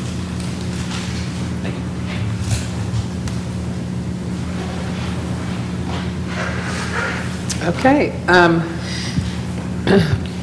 So we're not in the public hearings part, so I need a motion before we take public comment. So do I have a motion to adopt? Sure, I'll make a motion that we adopt the transit master plan. Second. All right, I have a motion and a second. Um, If you would like to speak on the motion to adopt the transit master plan, please, yes. Just state your name, and you have three minutes. Good evening. My name is Sabrina Raven, and I'm pleased to have served on the Transit Committee, the Transit Master Plan Steering Committee, and the Better Buses Together Core Team, which means I've been neck-deep in the TMP process all year. And I'm glad that you seem to understand, but I need to make sure that you understand how critical it is that this TMP is not just adopted tonight, but that you commit to funding it over the next few years. There's been a lot of praise for transit expansions in the recent years, but the truth is most of those increases weren't about giving us a great system or even really a good system. They're about repairing the damage done by the 2012 makeover, which cut service to so many people. It's really only in the past year that we can say that recovery work is mostly complete. But in the meantime, our buses and garage have kept aging, our cities kept growing, our traffic has kept increases, increasing, more people have had to move out further from their jobs, and more people have less money to spend on transportation because housing costs are taking up everything they have to spare. So now we have a whole new set of problems to solve. And we must solve them. People need to know they can get to work on time. They need to be able to get to the doctor without worrying about missing an appointment because the bus didn't show up. And I need to know I can come here without worrying how I'm going to get home at night because the buses stop running before public comment even starts. I want you to be clear on this. The year one recommendations in the TMP are also not about giving us a great system or really even a good system. They're about giving us the bare essentials of a system that actually functions well enough for people to use it. Because right now our system is not functional. Our buses are still late as often as not. They still stop running too early. They still don't go everywhere they need to be. The year one recommendations aren't a magic wand, but they will go a long way towards helping solve these problems. The plan isn't perfect. Half-hour service on Hendersonville Road, service to Enka Candler, those are things we should have had years ago, not years from now. I'd like to see the timeline on those sped up, as well as on the bus garage and fare-free analysis. I'm sorry about the cuts to service to Kenilworth, but I'm convinced that's the best option we have right now, and we can work on returning that service in later years when we have more resources. And there's other nitpicks that I'll argue with transit staff over as we move forward. But the plan recommendations as a whole are really solid. And unlike so many other documents that come before council, this one truly prioritizes the needs of the people most affected. It's not going to give us a great system right away, but it will give us the system we need and open the door to grow a better system later on. The 2036 vision calls for public transportation that is widespread, frequent, and reliable. It says it should be easy to live in Asheville without a car and still have success. If that vision is to be meaningful, we can't wait years to start implementing it because it's going to take years of improvements to get there. But more importantly, our people need better buses now, today, not in 2036. We need you to adopt this plan and we need you to get it funded. Thank you. Thank you. Um, Folks, please don't queue up in the aisle. Just raise your hand and I will call on you. Um, Thank you. But you're, you can just, you know, you made the effort. So, Good evening. I'm representing Youth Empowered Solutions in partnership with Just Economics. My name is Francisco Diaz, and I thoroughly support the Transit Master Plan as a youth of color. I've seen that most youth don't have access to cars, transportation, and suffer from opportunities from after-school activities such as band and sports. I feel that this won't only affect youth, but it will affect everybody in our community. I feel that people will have better health because they would have more access to health care, more access to food, and public parks, exercise. Routes running later would also help people get to jobs more and stay later in those jobs and work more. I think Fare Free would get more support not only in the weekends, but also help during the weekday, since people would, would think that, oh, this, the bus system is actually working now. It's not just like it was before. And I think more effective routes, especially on Patton Avenue, I myself have seen people waiting in line in the rain, waiting for a bus to come. And I think that thanks to the new transit master plan, that this could be affect, could be helped. And I think expanding into areas more like Woodfin and Weaverville, and even, even AC Reynolds, which there's no bus routes currently, I think that will help people. I support the transit, the transit master plan, and I hope you do as well. Thank you. Yes, over. Well, it's hard to tell. You'll be next. You're here. Hi, Mayor and the st- City Council. I am Cindy Oak, along with Leslie Anderson and Tina Stovall, representing Family to Family in the Reynolds District of Buncombe County Schools. And as you know, since 2013, Family to Family has been addressing the need for public transportation from the city limits at River Ridge Shopping Complex out to the Reynolds Middle and High Schools, a distance of 1.9 miles. And this is a need firmly outlined by school officials. And after gathering data, conferencing with students, families, we've confirmed that the majority of the Reynolds Middle High School students or families live within the city limits, pay city, county taxes, and yet do not have access to public transportation to their schools in order to participate in school activities, both academic, social, and otherwise. So while located in the county, Reynolds Middle and High Schools are definitely urban schools. Specifically, national research shows that the graduation rates of marginalized students who do not have transportation to their schools are significantly affected, and we have learned this with conversations with students to confirm this. Opportunities to make up absences, take advantage of remediation for credit courses on the AB Tech campus while in high school are only a few denied to these students due to the lack of public transportation from the Reynolds campus into the city, again, only 1.9 miles away from a city transit stop. Our negative, our data has also showed the negative impact on business development, residential apartment complexes along Highway 74A, and um, when this public transportation is not available. Now, after nearly 35 meetings and presentations with city council members, city transit planners, the transit committee, and county commissioners and transit planners over the last three years, we are optimistic to now have the attention of both our city and county officials addressing the need to provide expanded public transportation, not only for our Reynolds community, but in other critical areas of the county as reflected in this 10-year master plan. The city transit planners and the consultants who were paid by the city and county funds have creatively and clearly determined a solution that will meet the need we have stated in our Reynolds community. We thereby support the proposed Asheville City 10-year transit master plan that outlines a deviated fixed route or flex service along Highway 74A corridor from the River Ridge Shopping Walmart Shopping Complex to the Reynolds campus, as described on pages 68 through 71. We also want to publicly acknowledge Elias Mathes, sorry. Thank you. I just want to say acknowledge his work, which was amazing. Thank Thank you. you.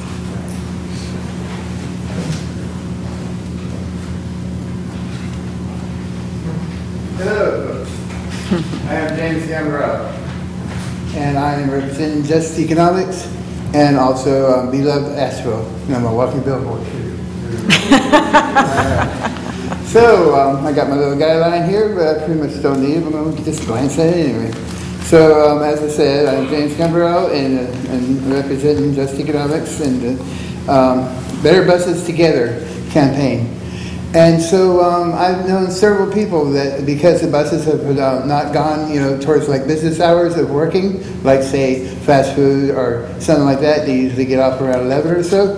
And several people living far, far away from their job have to stay in the back area in the bushes in order to sleep and spend the night because the next bus shows up, you know, around 6 or so in the morning the next day. That's, I've seen that happen several times, and it's really, really bad. So, um, you know, um, so uh, we're, you know, seeing about trying to ask all, as these other people have said, uh, to please vote yes on towards this uh, master plan because, you know, everybody um, worked, you know, pretty hard on it. You know, as you all know, you read the paper, said it just displayed before you and, and hear it all. And um, so, what else, what else? Oh, yeah, yeah, tons of people that um, Just Economics and other organizations as well has gone out and done surveys and stuff like that, and, you know, and, and gave them, um, you know, to the proper people to, you know, telling you um, what, what all is good and what all is bad about buses and all. And then Sabro said, oh my God, yeah, that's the situation there. The buses are just like, like dying on the street, and I know that they're old, they were given five more, you know, like, like towards the winter time or so. But, um, you know, geez Louise, it- it's, you know, it a really, really good uh, overall. And uh, so that's basically uh, all I got to say, so uh, thank you. Thank you, everybody. All right. Do yourselves a round of applause.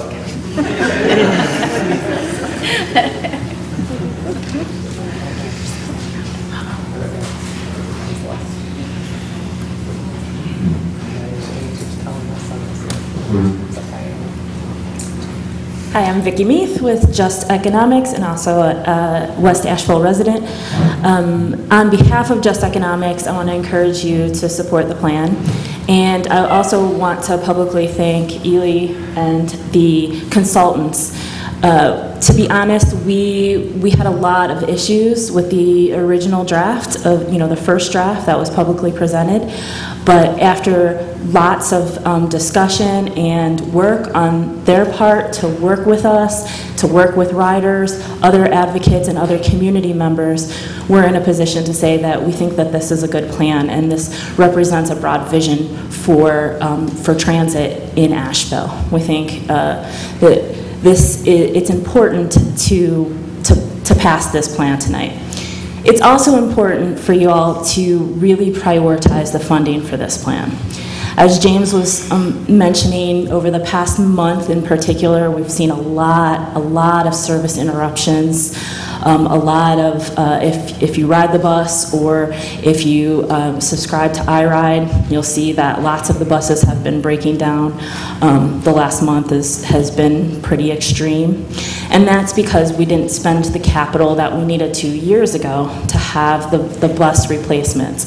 This plan, as well as the work that Ely's been doing over the past several years, um, has a good bus replacement plan, has this facility um, uh, in, in the plan, um, and we need you to look at both the operations and the capital expenses, and really to think about how we're going to fund that. We know that there's the probable sale of Mission Hospital that will not only set up the Mission Foundation, but will br- bring in, likely bring in uh, tax dollars into the, the city budget, and we're hoping that you'll kind of take a look at how we can use some of that to, uh, to increase transit. Thanks.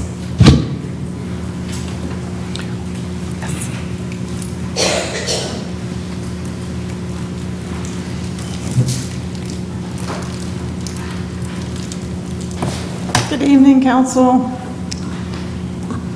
I'm Reverend Amy Cantrell. It's an honor to speak tonight. Access, access, access. That's what this plan does. Opportunity, yes, health and health care. This is an employment issue, a housing issue, and I could go on and on. Public transit is something that we all need and we can all benefit from. I want to say what an honor it has been to serve on the Transit Master Plan Steering Committee, along with countless other community members who have volunteered countless hours um, to bring this plan before you tonight. And I want to say what it, what it is to me to see the community really invited into a process. And I just want to hold this up as a model. And I want to thank uh, Tindale Oliver and Ely and LaShawn and all the others that have been really working to make this a community plan. And I think it's a model for civic engagement.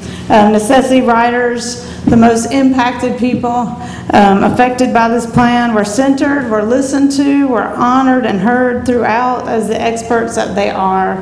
And so I want to say that we need to vote yes for this plan. This, this is a solid plan. Um, These folks that, that are on the consultant team met, they would take meetings uh, hours before we were moving something forward because we wanted to get it right. Um, And so we bring this to you tonight. This is the bare minimum for creating a powerful transit system that actually works for the whole community. Our system's been tired and broken and dysfunctional for a long while, And thanks to dedicated rider advocates, dedicated council members, dedicated city transit staff, we have worked to fix many of these struggles together.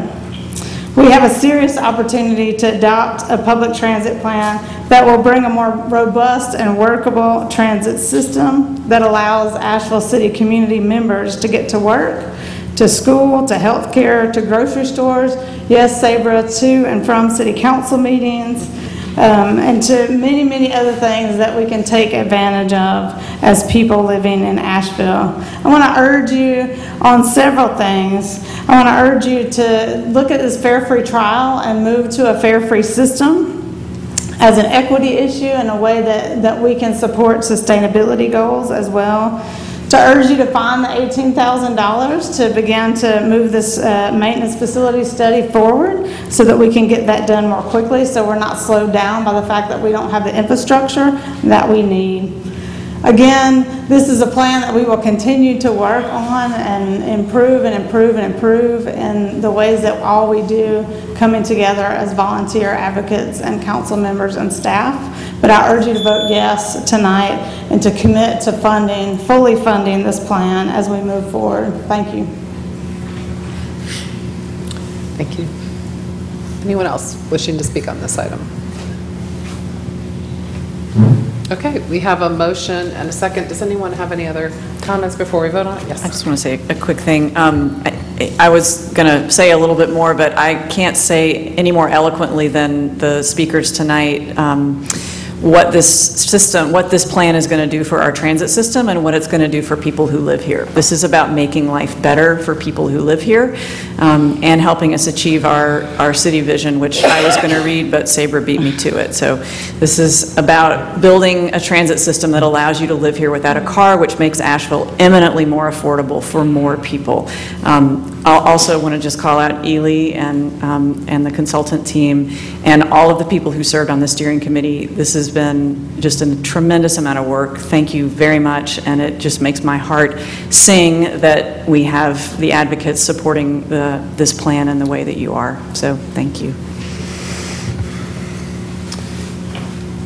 I would echo that. That, that was um, nice to hear that this uh, community input process worked. And I want to thank all of you, being the members of the community that spent your time working with the staff to get this in a place that was positive and good and something you could support, because I know it takes a lot of time to attend all those meetings and provide all that feedback, feedback and review all of the drafts. So thank you for doing that and for coming here tonight to speak on it.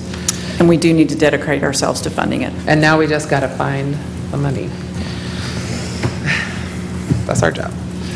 All right. Um, All those in favor, please say aye. Aye. Any opposed?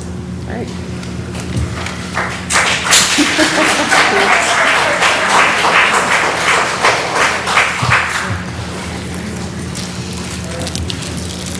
Okay, we have another.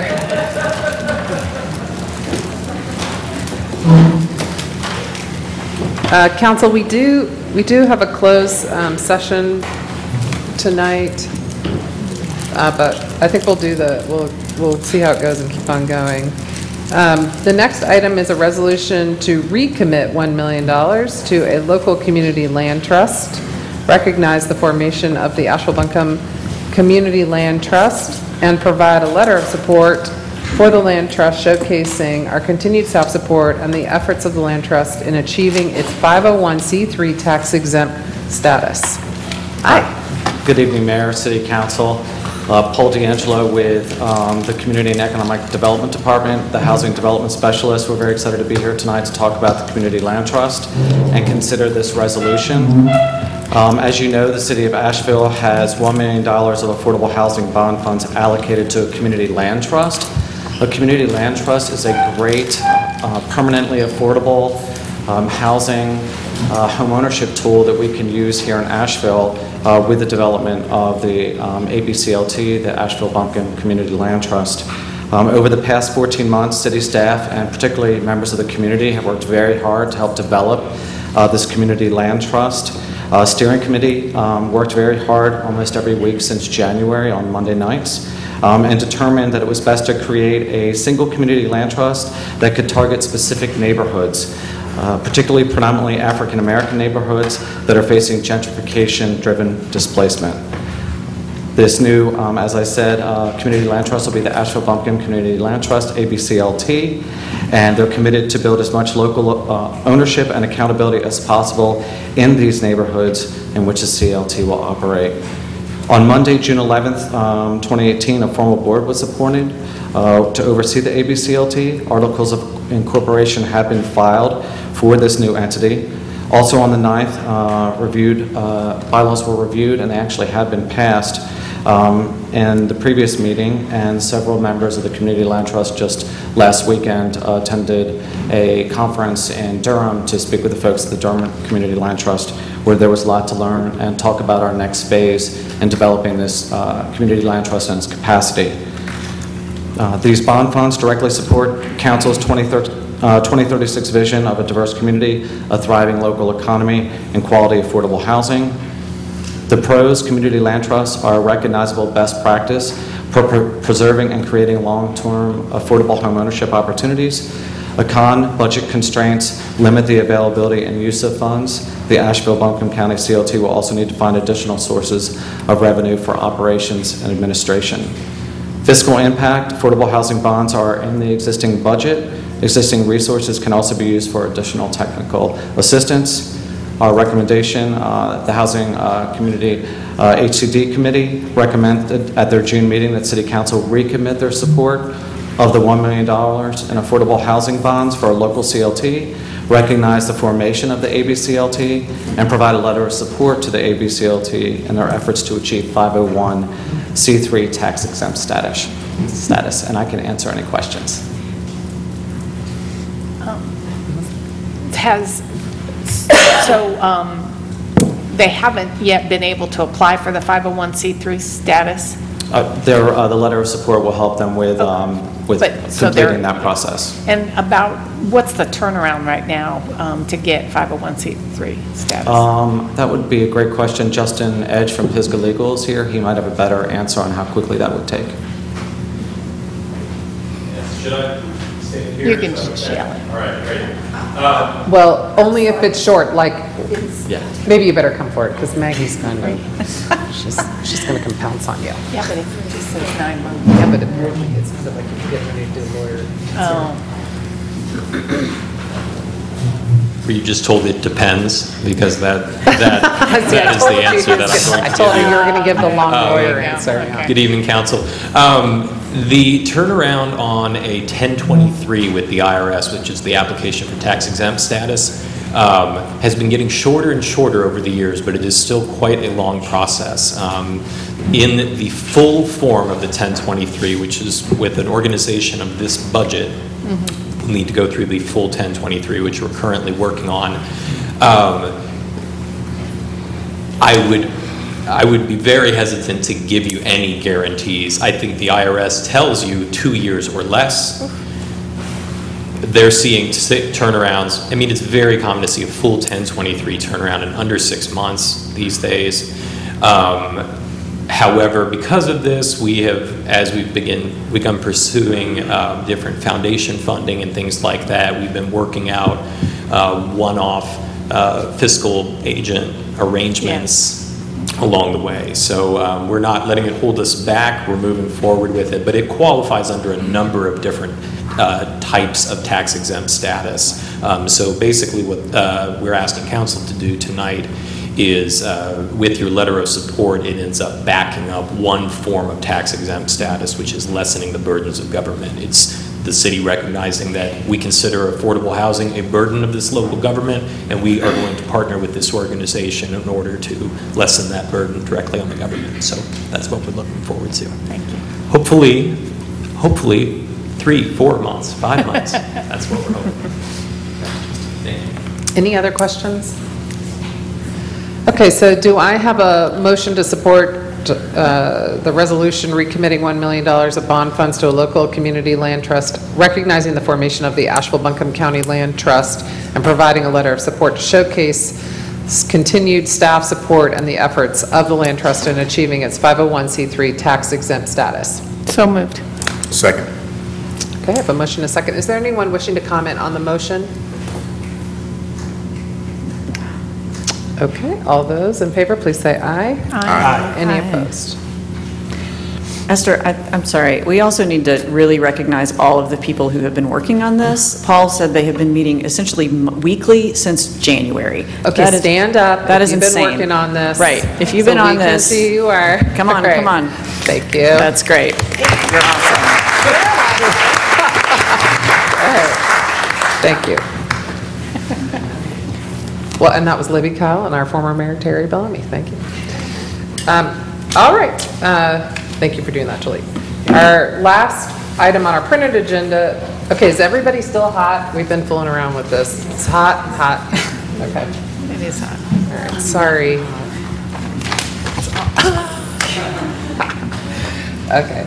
Um, Boards and commissions, Vice Mayor. That's great, thank you. Um, So, uh, once again, we have a long list of appointments, so bear with me. Uh, But again, I'm going to say it for the hundredth time, uh, we've just really seen an amazing number of citizens who are coming, residents and citizens who are coming forward and volunteering to be part of these boards and commissions, and the number and quality, just even during my tenure, as, is, is really great. So um, we can't always pick you um, when you apply, but I hope you don't get discouraged. I hope you stay involved in the, in the city. Uh, So for boards and adjustments, uh, we, Boards and Commissions recommends that we re-advertise for that alternate position. I need a second. Did you Brian seconded. All those in favor? Aye. Okay. Any opposed? Okay. Uh, Citizens Police Advisory Committee, uh, for the North Asheville position, boards, and and I'm just going to go through all of them. Um, Boards and Commissions recommends Blake Marcus. For the Central position, Jerry Kivett. And for the Housing Authority Representative, Jean Bell. Uh, That's the recommendation. I need a second. Second. All those in favor? Aye. Great. Uh, For the Civic Center Commission, Boards and Commissions recommends Kim Hunter, Bill Jones, and Kyle Smith. Second. Second. All those in favor? Aye. Any opposed? Okay.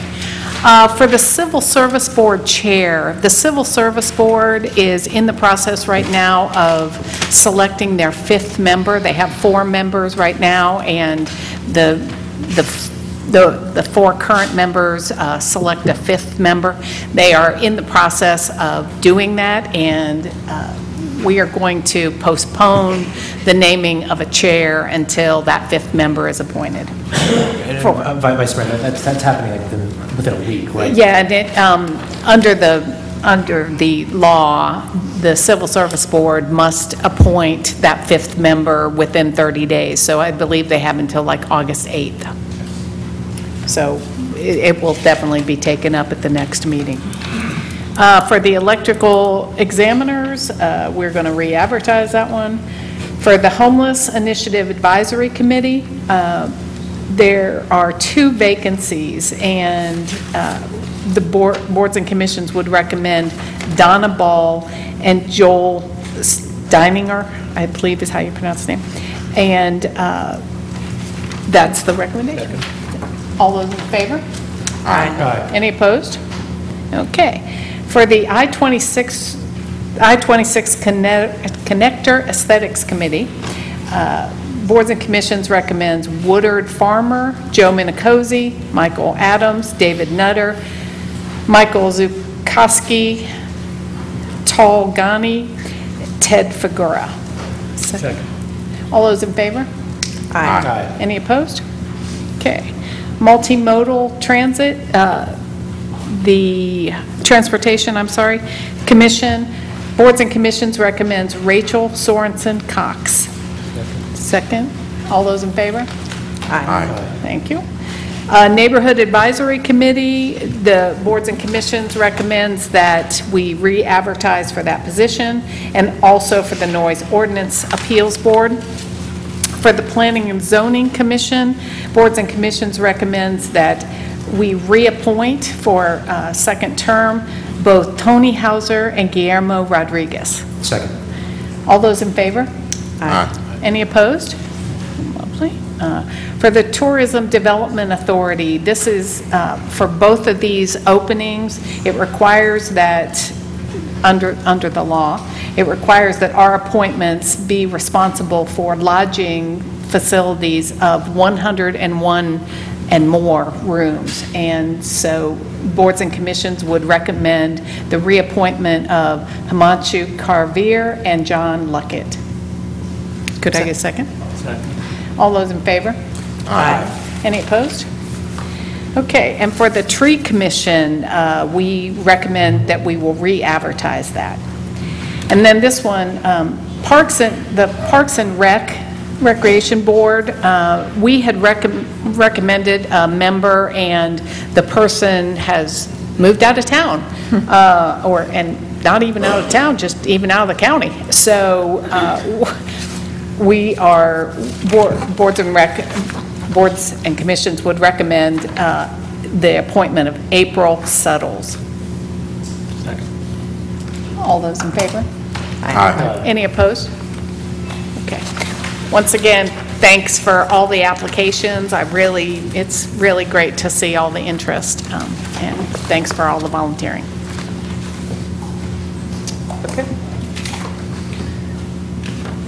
All right. Um, I have a few people signed up to speak. We're we're at the public comment period of the meeting. Um, And I'm just going to take them in order uh, as they signed up. The first person to who signed up is Steve Foster.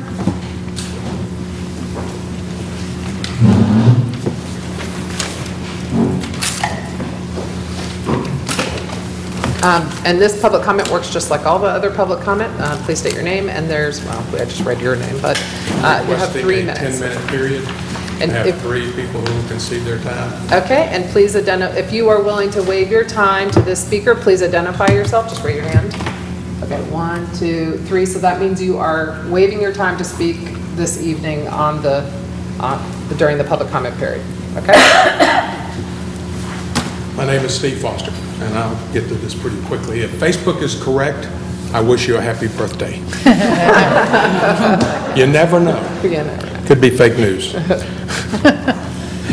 Uh, Thank you for allowing the Council of Independent Business Owners to make public comment regarding the City of Asheville annual budgeting process for upcoming and subsequent years. My name is Steve Foster. I'm representing the Council of Independent Business Owners Budget Committee. Uh, Professionally, I've been a CPA here in Asheville for more than 30 years. We understand that you have completed the budget process for 18 and 19. Certainly, we understand that you are happy that the process is over and you can get on with other business. Our committee, however, is concerned that the discussion of some real infrastructure items have not received as much attention as other issues. These infrastructure items include police funding, improvements to stormwater, street maintenance, and the transit authority. Although you have completed your work for this year's budget, our intent is to ensure that the budget for next year and beyond will reflect real management by the city council and set a course for long-term accountability. With regard to the police funding piece, the site citydata.com, which coincides with similar documentation you have received from our own police department, reports that the city of Asheville is 90% higher in overall crime than other United States cities. Recent events show serious homicides, property crimes, and domestic problems that are common within the city's jurisdiction. Unfortunately, police have often judged their worst, police are often judged on their worst performance versus the good that they perform day in and day out. Instead of the cuts to the city council police department, there should be additional funding for extensive training, not only for new police officers, but also for seasoned officers.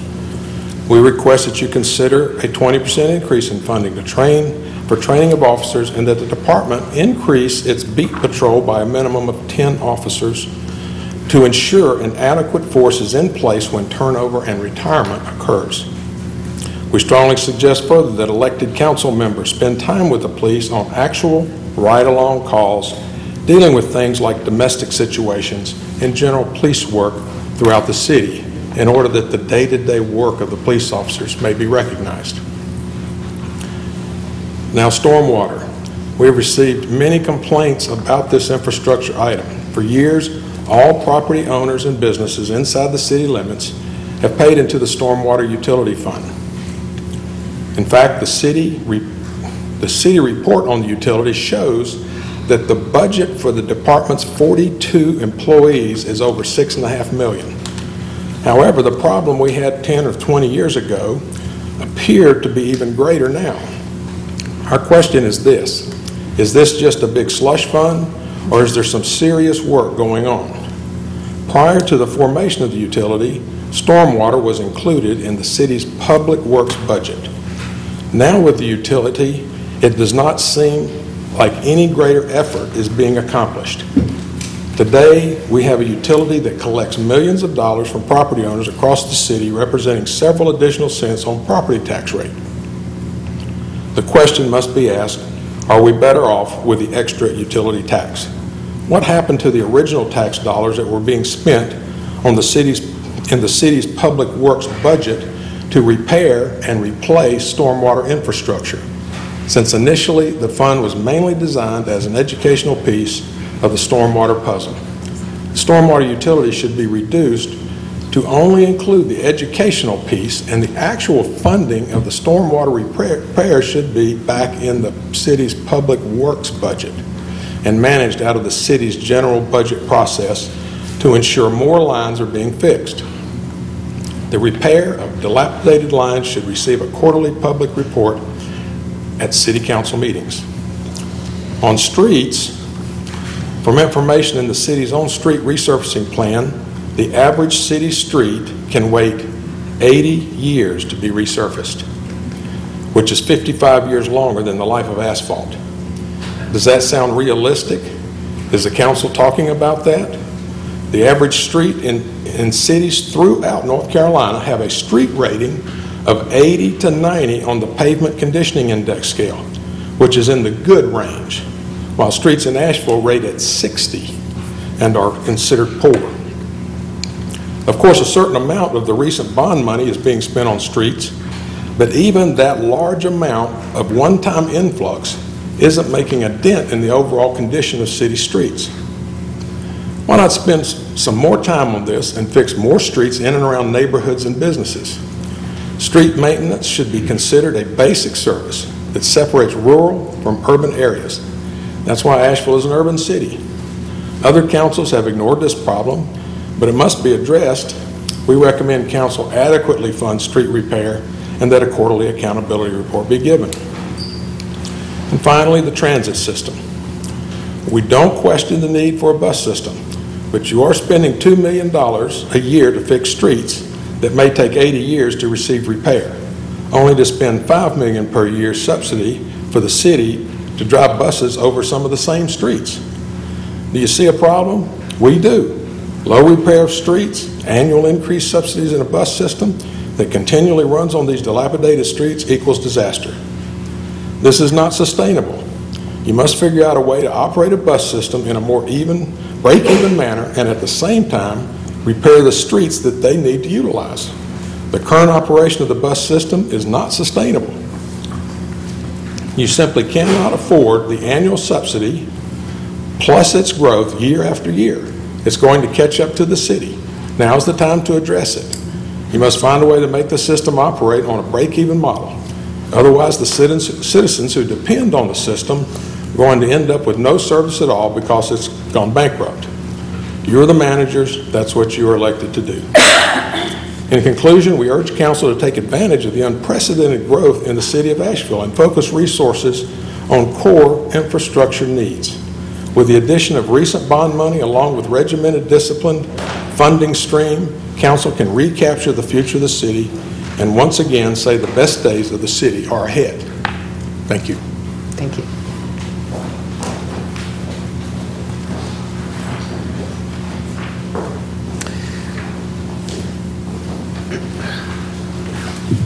The next person I have signed up to speak is uh, Libby Kyles. Um, I do see that uh, CIBO is passing out information to the press, and I would offer that some of the information was incorrect in that statement, but that's on us to do a better job uh, regarding our capital ma- management program, and uh, was talking to folks about the use of the stormwater funds, and I'm looking at Kathy Ball, our manager, who can help provide information about that. Thank you. I'm sorry, Ms. Kyles. Go ahead.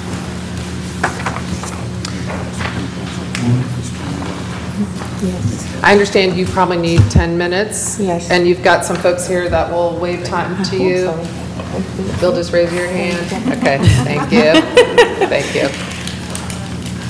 So my name is Libby Kyles. I'm a public school teacher at Isaac Dickson Elementary School. And in addition to that, I run a nonprofit called YTL Training Programs, You Transform for Life. Um, I want to speak to you today from three different perspectives, as a parent, as a teacher, and then as a community member. Um, As a parent, my daughter is sitting back there, Leah. Um, I am very protective of my daughter, like all parents are. I monitor what she sees, I monitor what she hears when I can, but I can't be with her always. So when she goes out into other places, public places, she sees images, she hears people talking about people of color and children of color in a way that's not positive. When I was eight in Asheville, my experience was very different than what Leah's is now. When I was eight, I spent a lot of time on 13 Velvet Street, which is where your public work buildings are located now. Those were my grandmother's houses. We used to walk to Stephens Lee. And when we walked to Stephens Lee, that's where we went to play games, we had community. I think I may have told one or two of you that that's where I became the air hockey champion. Um, Because it was a building that was purpose for gathering of children of color um, in a positive way.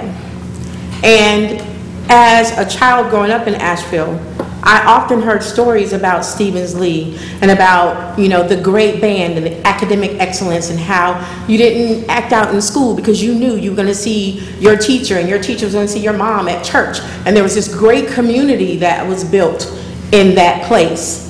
And today, our children are missing out on that. They're missing out on the history and the beauty of black Asheville from back then. And I think it's really important that as we think about what's going on in our community with our youth, that we think about reimagining what that space could be. Reimagining a place where children of color come and they feel safe and they feel at home. Because on the walls, they see people that look like them. They see doctors, they see lawyers, they see judges, they see bankers, they see the Al Whitesides, the people who came out of that space, and they see the history of excellence. That's not something that they get to see every day. That's not something that they get to hear. And that is what Stephens Lee means to me, and I think to most native of the black community in Asheville. It was a place of academic excellence. And it was a place where you had little, but you did so much with the little that you had, and you had so much pride in it that it was just great. Even secondhand books were great. I would like for us to reimagine Stephens Lee as a place where children of color come in the door and look around and see themselves. That's my perspective as a parent. My perspective as a teacher, having taught in Asheville City Schools for the past 14 years. I was a teacher assistant for two years. The school can only do so much. I love every kid in my classroom, and I want the best for every kid in my classroom. And I do my best for every child in my classroom. But there are circumstances happening in our communities that are beyond my control, your control, anyone's control. So what do we do about that? We can't just continue to blame the teachers and say, oh, if only you did this. Something else has to happen outside of the school building. And I think, and, and let me say, not just Stephens Lee, I actually believe it's a bigger conversation. I actually believe that we should have these conversations about all of those buildings that were given or turned over to the city when schools were closed for integration and they were then turned into rec centers. We need to reimagine all of those spaces. We need to consider what would it look like if we put grassroots organizations in these places and supported them to do the work that they know to do. One of the most upsetting things in any community is when you have people come in and mandate to you what they think you need versus listening to the people who are on the ground doing the work on a daily basis and having something like what we have for the transit system for our community. Does that make sense? Um, and so as a teacher, I deal a lot with trauma in school and in the classroom. And one of the things that I would love to see happen as we, I, hope you've had a chance to read the Stephens Lee proposal that I sent, um, is that having that place where the hours aren't work hours, the typical eight to four, nine to five type deal. But there are other things that can happen in that space that would be beneficial for chil- blah, blah, blah, children of color, and that would also give them the tools that they need to deal with those trauma. I know everyone up here has heard of ACEs, right? You know, when I first took my first training, I identified six markers in myself. It was the most devastating, probably 45 seconds that I've had in my life. But what I realized in that moment is if I identify six in myself, and I consider my childhood to be much easier than what I see children going through now, how many markers can we identify on them? And what can we do as a community to combat what's happening in their lives? We can't fix everything, but there are some realistic steps that we can take. And one of those realistic steps, I believe, is giving Stephens Lee back to the community and allowing us to have programming in there that deals with trauma. And, and when I say trauma, trauma exists in all walks of life. It's not just the trauma that happens in the neighborhood. Children walk into schools and they don't feel safe. And that is an issue.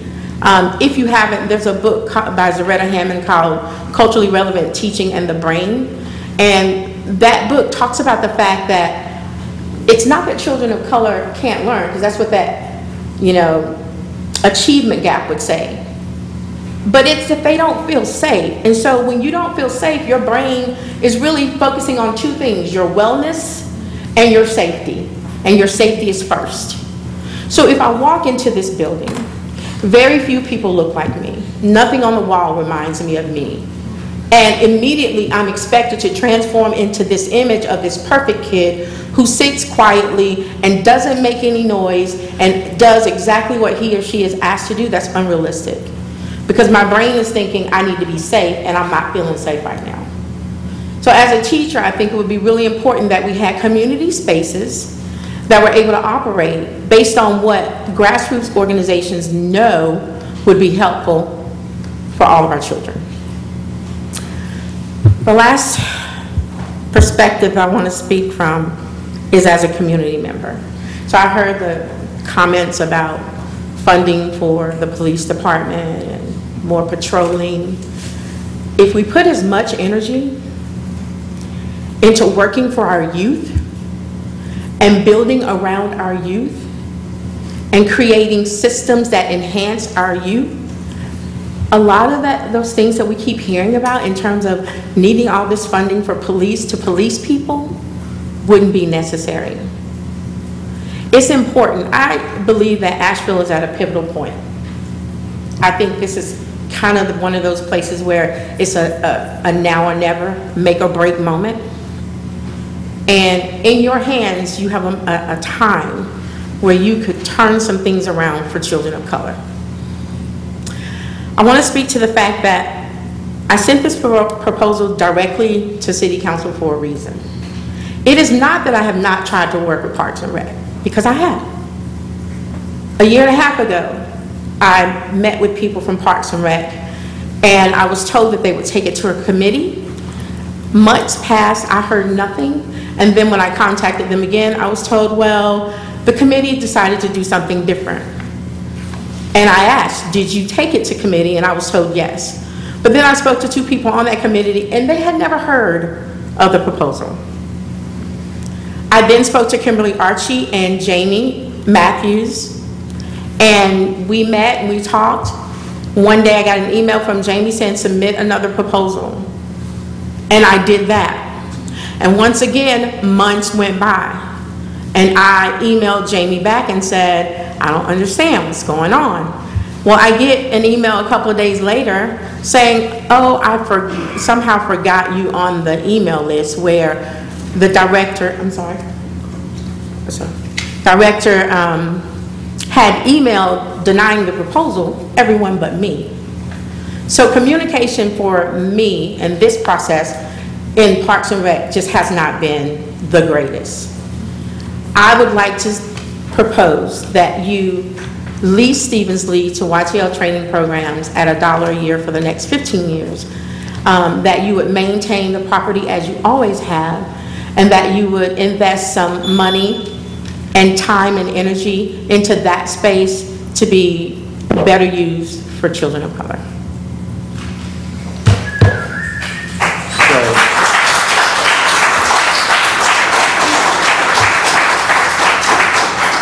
So the reason I've been the male fan here, uh, we have 22 African-American males that have pledged to help Libby as far as the coverage in any facility that she gets, primarily Stephens Lee, that we will help her to make sure it's a safe environment for her to have whatever programs are necessary.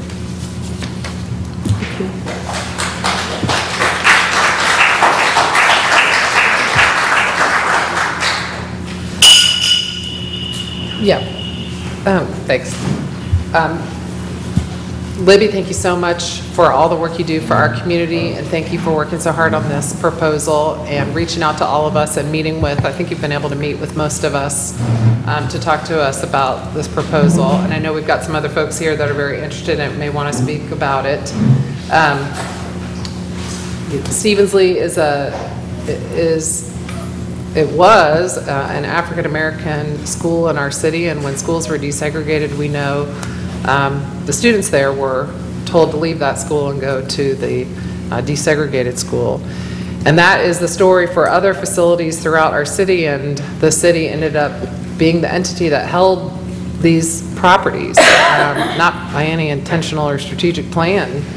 Uh, And I don't, and I I don't speak, I don't want to speak for all the the folks up here on council, but I, I don't have any particular um, interest in the city continuing to own and run these facilities forever. There's no reason that necessarily needs to happen. Um, It, to, to see a future and better use that better serves the community is a great, is a great idea. Um, I, you know, we've struggled with how, how does council, how can council help you? Uh, And because we know the facility's being used by some folks already, it has some programming and already. Uh, And, and so some, obviously, there'll be some scheduling things to work out. There's an alumni association that um, uh, meets and, and, well, you know, there's a lot of different stakeholders, I assume, that will want to be able to talk about this proposal and the future use for Stephens Lee. Um, And I'm looking over at the city manager because I'm, I'm hopeful that council can kind of guide some next steps here tonight, that this isn't just a presentation that you make to us and we don't know what to do and we don't know what to do next. Um, It sounds like the methods that we have in place already aren't working, uh, and we need to try something different for you. I don't know, Kathy, if you've had any opportunity to think about this or what we might suggest in terms of next steps.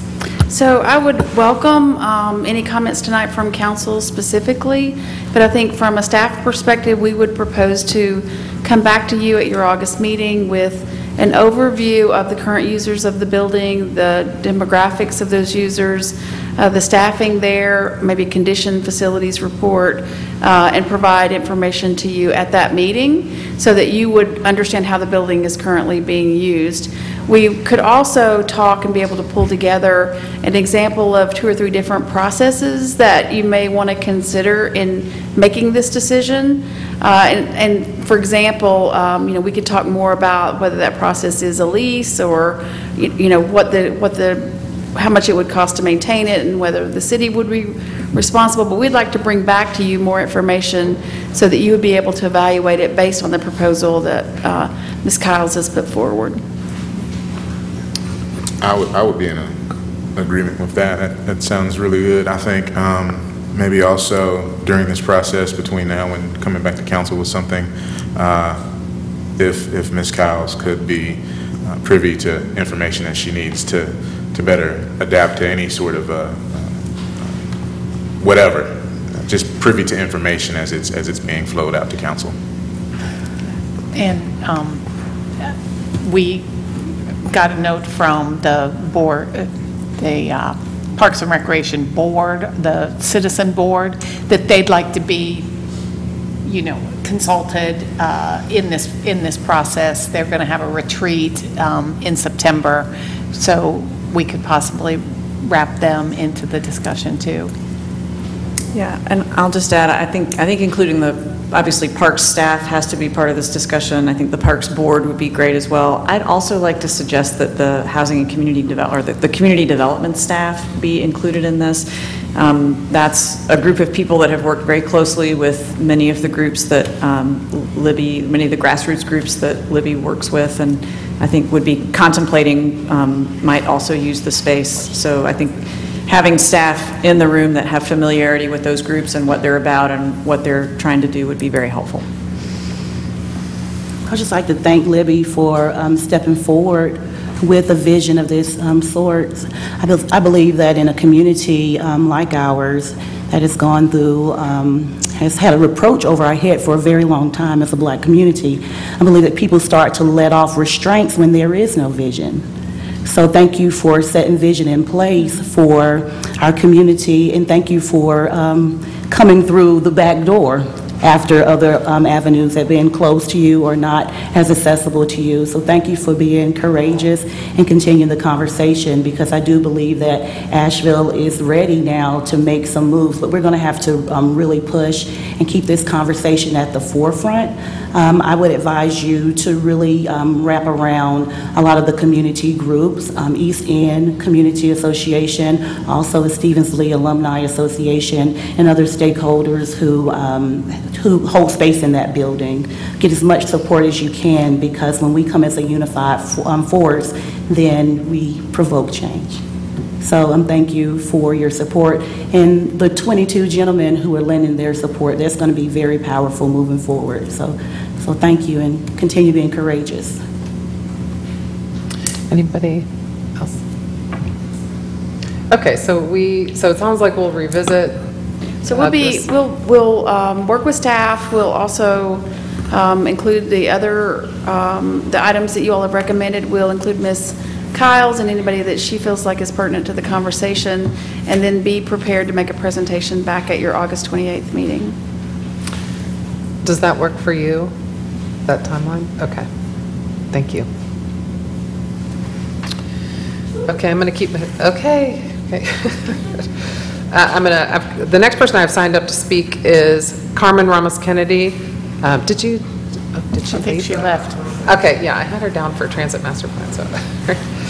Um, The next person is Mac Swicegood.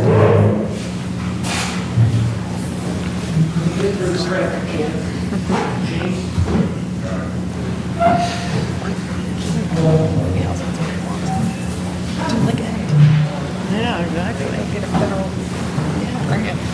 Yeah, take it.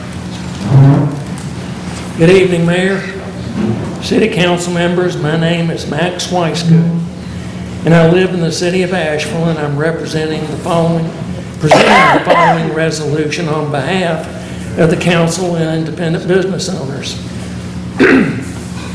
A resolution in support of the city of Asheville Police. Whereas the men and women of the City of Asheville Police Department wear their uniforms with honor, dedication, and integrity as they protect and defend the city they serve, And whereas there are approximately 163 law enforcement officers serving the city, along with 300 employees in the entire Asheville Police Department.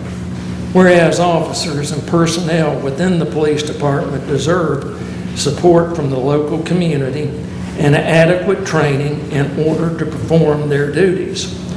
Whereas the uniforms which are worn and earned with hard work, commitment, and pride by these officers have in recent times become targets simply because of their profession and their commitment to duty. And whereas we, the Council of Independent Business Owners, support the men and women of the City of Asheville Police Department who stand every day as our guardian of peace and order, ready to protect our homes and businesses, the weak and the oppressed, and our very freedom. Now therefore be it resolved by the Council of Independent Business Owners that the Council of Independent Business Owners publicly acknowledges their support for the commitment and sacrifice made by each and every member of the City of Asheville Police Force, resolved by the Board of Directors of the Council of Independent Business Owners. Thank you. Thank you very much. The next up is Ray Spells. Okay, apparently isn't interested anymore. Elizabeth Shell?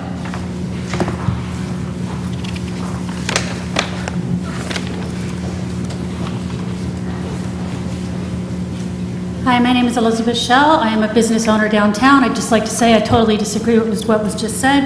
Um, But I'm here as a member of Asheville Showing Up for Racial Justice, of which I have been a, um, one of the core leaders since 2016. Um, And this is a statement I would like to share for- with you from uh, the core team. Uh, We are disturbed at revelations by the Citizen Times about the surveillance conducted by the APD of our group of Asheville Black Lives Matter and other community members who took action in the summer of 2016 to hold the police department accountable for the killing of Jerry Williams. However, we are not surprised.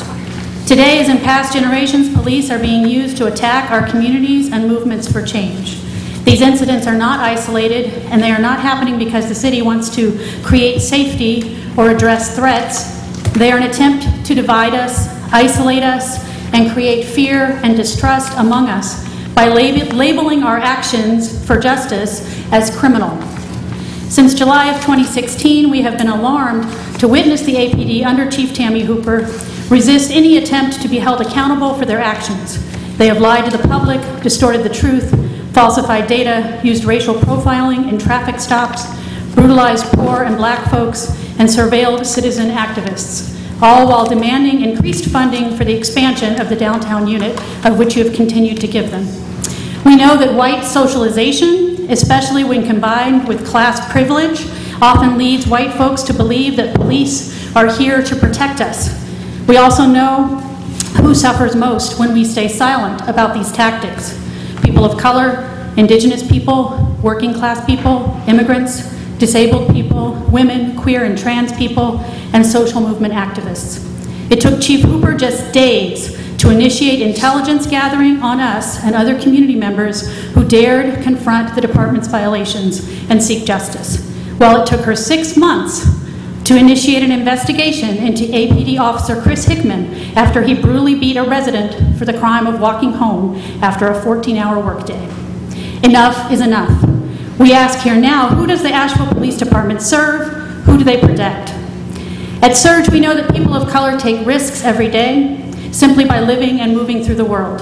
In Asheville, we believe in the need for white folks to take risks, even in the face of discomfort, in order to help build the city we want to live in. If we are deemed a threat, we hope that the threat that we are is one, a threat to systemic injustice, inequality, and white supremacy.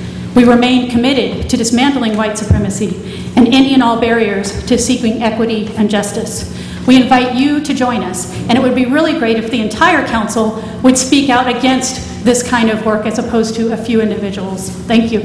Thank you. Next, next up, um, I have Ellen Perry. Okay. Amy Warthen.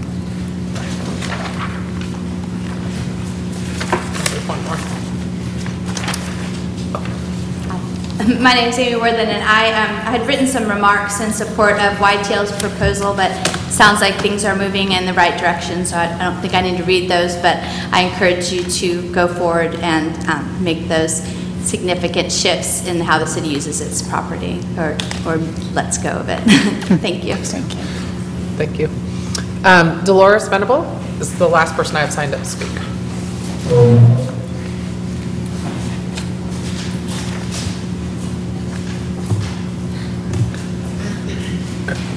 Good evening, council, mayor. Um, Once again, my name is Dolores Venable. With Asheville Black Lives Matter. Um, I'm here today because um, I think um, to talk about the um, intelligence gathering, if that's what you like to call it, that was um, initiated by Asheville Police Chief Tammy Hooper. Um, First of all, let me just say that um, I'm the administrator of not only Asheville Black Lives Matter the organization, I administer that Facebook page as well. I can assure you, there were no threats posted on that page towards any officer of Asheville Police Department. And if there were such threats put there, I would be the first person to contact Asheville Police Department, as I have always kept first and foremost public safety. Um, I find it incredulous that um, I was the target of such said intelligence gathering. It became to light to me not several days after the murder of Jerry Williams. I was approached by an individual at a public space where we were gathered at who happens to be a retired law enforcement officer who said he had spoke with members of Asheville Police Department and had said that he had been told that not only was I being monitored personally, but that I also was being monitored by phone, email, electronic devices, and also social media. On July the 10th of 2016, I put up a Facebook post that said, I know the Asheville Police Department is watching me.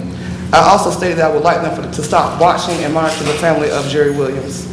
The reason I made that statement was because during that day I had watched Asheville Police Department approach Jerry Williams' family and put stickers on the children of his family members. This very much upset his family after they had been so much traumatized. Over the course, after that um, initial action and the protests and demonstrations that took place here in Asheville following that um, moment, I was um, again approached in um, January, December of 2017. Um, This person approached my mother in a phone call, and I told her that not only was I being monitored, but that she was, and also Amy Cantrell. At CPAC on March the 7th, I brought this to light. I don't believe that any of you had even heard this before we had said it. That is my honest belief, and I know that you cannot disclose that to the public, but that's my standpoint. With that being said, I want to ask you, how much more do you not know about that has happened with this police chief? I have been very fair. I have been very um, forgiving, to be honest with you, with this chief. I have tried to work with her to build community trust. After what she has disclosed, and after I asked her about this in a public setting at a CPAC meeting, and she vehemently said, no, I know nothing about this, and then go to the newspapers and then twist those uh, comments around and say, well, yeah, we were doing intelligence gathering. There was a very thin line then about what is intelligence gathering and um, surveillance. And to be quite frank with you, um, I don't think that, uh, there was a, a, a- a comment that went out from the police department that said, I don't think the community understands. Oh, yes, they do. We do understand that that was going way beyond what was um, necessary because those actions weren't even taken here in the 70s. Um, do I have um, anybody that can see Tom? Thank you. Um, to find that out um, was highly traumatic to uh, people who had been working with the police department for two years to collect data to improve the standards of policing, to help move Asheville Police Department to a 21st century policing department. We actually went before CALEA when they came here to Asheville, when they wanted to reinstate, uh, to recertify Asheville Police Department. We actually spoke in support of that. Please believe me, if we felt any type of contempt for Asheville Police Department, do you think that we will put ourselves in that capacity? I think that some of you have been told a narrative that is not completely true by Asheville Police Department. And over the years, we have seen those narratives unfold, and now you're seeing another again an untruth that is unfolding before your eyes. Um, one of the other things that trouble, troubled me about this situation during this time is that the family of Jerry Williams had complained about being harassed by Asheville Police Department. Officers coming to their house for calls that were not made, um, sitting outside of their apartments, their homes, following them in vehicles. You know, was that part of that intelligence gathering? Because if it was, I find that to be borderline of harassment. I find it to be borderline on causing this family more trauma than they already had already been through. Um, it's very disappointing. How can I be, or how can I assure my community that it's safe to work with people when they do things like this behind your back? And the fact that you all didn't know about this troubles me as well. Because how much um, authority is this chief taking without your knowledge? Though that she has the, the, the authority to do so, is it the right thing to do? You know, sometimes we have to look at things from a moral ethical standpoint as well. I find this to be kind of breaching those lines. And the fact that taxpayer money was used to do this and nothing came out of it. And at the same time, Asheville Police Department's own Facebook page had posts from people who were threatening the protesters' lives. They were threatening to run over protesters, they were threatening to shoot protesters. There were some very vehemently nasty things on their own social media pages. But they chose to monitor other activist and organization pages, but they weren't even monitoring their own. They weren't even monitoring themselves because if they were, there would be no Chris Hickmans. You know, we need to look at what's real here and be able to um, discern what the narrative should be. And as a victim of this witch hunt, I can tell you, we were not the problem. What's going on before you is that Asheville Police Department is imploding before your eyes. For the last two years, since this chief has been in her tenure, we have seen nothing but disaster after disaster come out of APD. Now, I do support policing. I don't believe that we can live in an anarchist society. I believe that we must have law and order, but we also must have justice and truth. This is not what we exhibit right now for this city. I ask you all, at CPAC, Chief Hooper said that she would resign if she felt that it would do some good. At this point in time, I believe it would do some good. And if she's not willing to resign, I'm asking council to take it upon yourself and use your power to have a closed door session. And let's start a search for a new police chief. Because if she did this once, how many other th- things has she done, or, or what else would she do? Then those numbers that came out about crime statistics in Asheville that went out to the media, that I knew for a fact as soon as those statistics were released to the media, were absolutely wrong, because I was part of that data collection. Took days for that to be corrected, but that's the perception that APD sent out to our communities. And so people base a lot of their support off of these false narratives until people like me come forward. And it took a lot of courage to come forward on March 7th because I knew that you didn't know. I knew that many people didn't know, but the community deserves transparency. And if our police chief was not going to give it, I believe that it was up to the community to do so. So I guess what I'm coming here today to say is um, if you want to build community trust and uh, build uh, relationships, especially with the black community, with police, um, basically um, using our activists and organizers and community people and, and, and using us against our own, our own people, that's, that's not a great way to do that. She breached a lot of trust within this community when that came to light with the Asheville Citizen Times. Um, and I think it showed people that they really do believe that this department cannot be trusted, especially under her leadership at this time. Um, and to find out that um, we come before you every day, most of you know us on a first name basis as well as Asheville Police Department. We are of no threat to you, but now I feel like this department is a threat to me. How am, I, how am I supposed to move forward with that? How can I ask my organization to move forward with a city that might support this? I don't understand how we, I, I believe that we're at a standstill now. This has caused a complete standstill of all the work that we've done. I don't want to see Asheville stand still any longer because as long as Asheville stands still, people that look like me die. So I need for Asheville City Council to really take it into your um, consideration and think about it, what if this was for you? Because some of you might have been part of this undercover intelligence gathering as well, to be quite frank with you. So I need for you to think, how would you feel to even not know, and I understand that people have said that this is stopped, but how do we know that? How do we know that this is not still going on today? Should I have to watch behind my shoulder every second? I have First Amendment rights. I have freedom of speech. I have the right to, to gather and assemble. Why was that right even taken into consideration? I just ask Asheville City Council to really look at what's going on here and really take a look at the big picture and ask when is enough enough? Thank you. Thank you.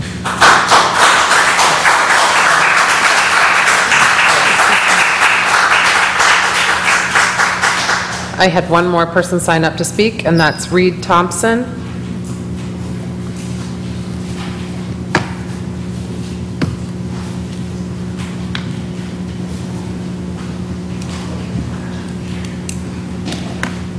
I was sitting at home tonight, watching on TV. I had no intentions of coming up here and saying anything. But after hearing about, and I can't even remember the name of the center, and the woman, Linda, I believe was her name, who spoke earlier, Stephens Lee? Stephens Lee, Libby. yeah, Libby, about Stephens Lee. How are we going to spend our dollars? It's crazy. And I came up here to support that. And her experience with the planning and develop, not planning and development, that's my experience. Her experience with the Parks and Recreation Department.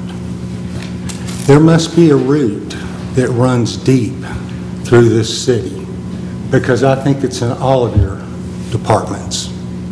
And you all have the opportunity to hire a new city manager. And we need to get on with it, because we have people in departments all over the city that need to be looking for new jobs.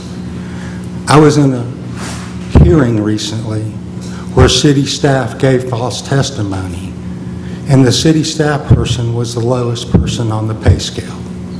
There were four other city staffers there that were higher on the pay scale, and not one of them spoke up to correct the record. So it makes me wonder, what is the record really like in a lot of cases? That's all I have to say. Thank you. Um, Is there anyone else wishing to speak who hasn't waived their time? Yes, Rondell.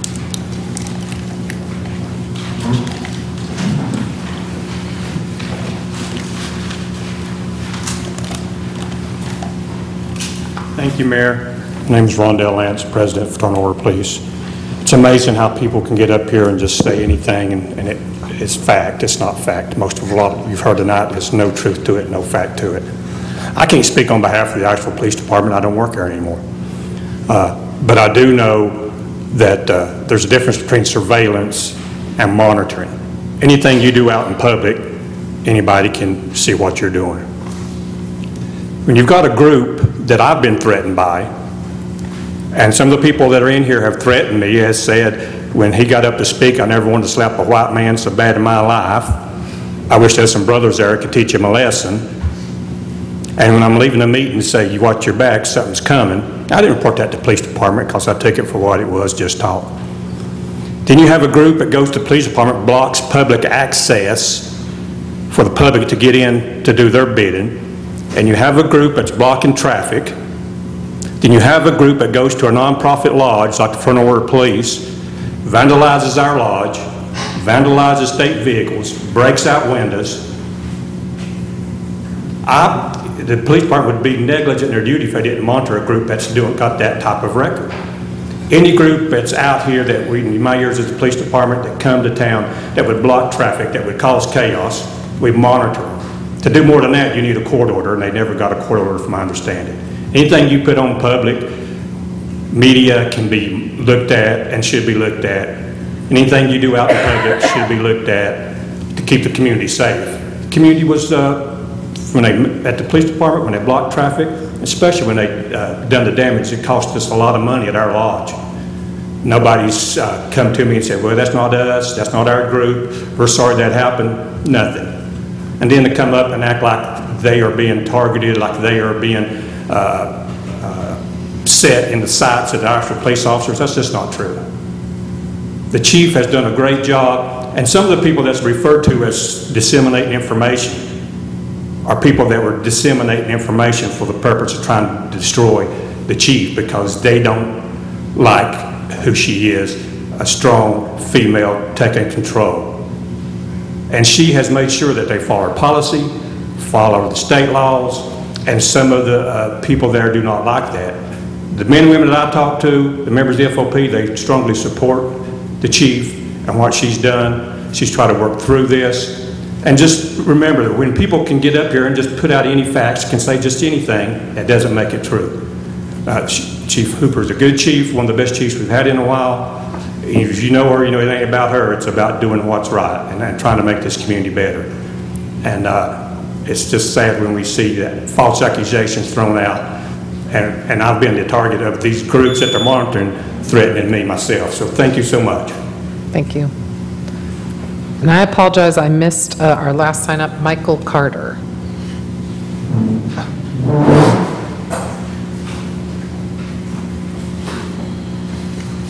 Wanted to briefly have a conversation or just discuss and talk about competency. uh, in relation to community relations and uh, working with the police in collaboration. Uh, I think competency is really important, and you demonstrate uh, your commitment to change and success by uh, preparing. And when the folks over at the police department released statistics that community members uh, were able to highlight were inflated through simple addition, that was a lack of competency. And then they issued an official statement uh, on Facebook saying that it was a copy and paste error. And I know some of you uh, on this panel have done reporting before and know the importance of competency when you do reporting. And so the fact that it was listed as a copy and paste error in their official statement is in and of itself a demonstration of uh, the level of commitment to transparency and the level of commitment to uh, being just and fair and how the narrative is displayed. So we can talk about uh, issues of surveillance, which I think is, is ethically wrong, you know what I mean, and is a use of public funds for perceived political purpose. But we have to get at the base issue, which is competency. So when this narrative came out about surveillance uh, and monitoring, uh, the police department should have, one, inherently been proactive uh, in addressing and engaging the narrative because they've been through this before. This, within the past six months, this is the third time we're talking about uh, a community incident in relation to the police in either delay of reporting or misreporting or an inflation of numbers, whether we're talking about the SBI and uh, the incident with Mr. Rush, or we're talking about statistics, or when we're talking about monitoring. What does it say about our police department that the Asheville Citizen Times is three steps ahead as in terms of uh, crafting and creating the narrative? So I think we need to have constant and consistent conversations around competency. And additionally, you know, some councilmen uh, on this panel have talked about the crime statistics. And if the reporting to WLOS or other media outlets was so poor recently as far as the crime statistics, doesn't that uh, merit a further investigation of the methodology on how those statistics were uh, messaged out? So I think we need some policies, we need some procedures, and we need some accountability. And I think uh, if we don't have those things, we're to consistently keep coming back up here. And at this point in time, I think it is uh, not only an issue of community trust, but an issue of competency. Because this is the, this will be the third incident within the past six months that I'm talking about, uh, as far as being able to actively, on the police department's uh, mindset, control, or even not even control, actively display a commitment to quality community relations, either through being transparent or accurately reporting information. Those things need to change. It's, it's, it's seriously an issue of competency. Thank you. Um, I don't, all right, we're just, we're clapping tonight. Okay, so I don't, I don't have anyone else um, signed up to speak. Is there anyone else who hasn't waived their time that would like an opportunity to speak?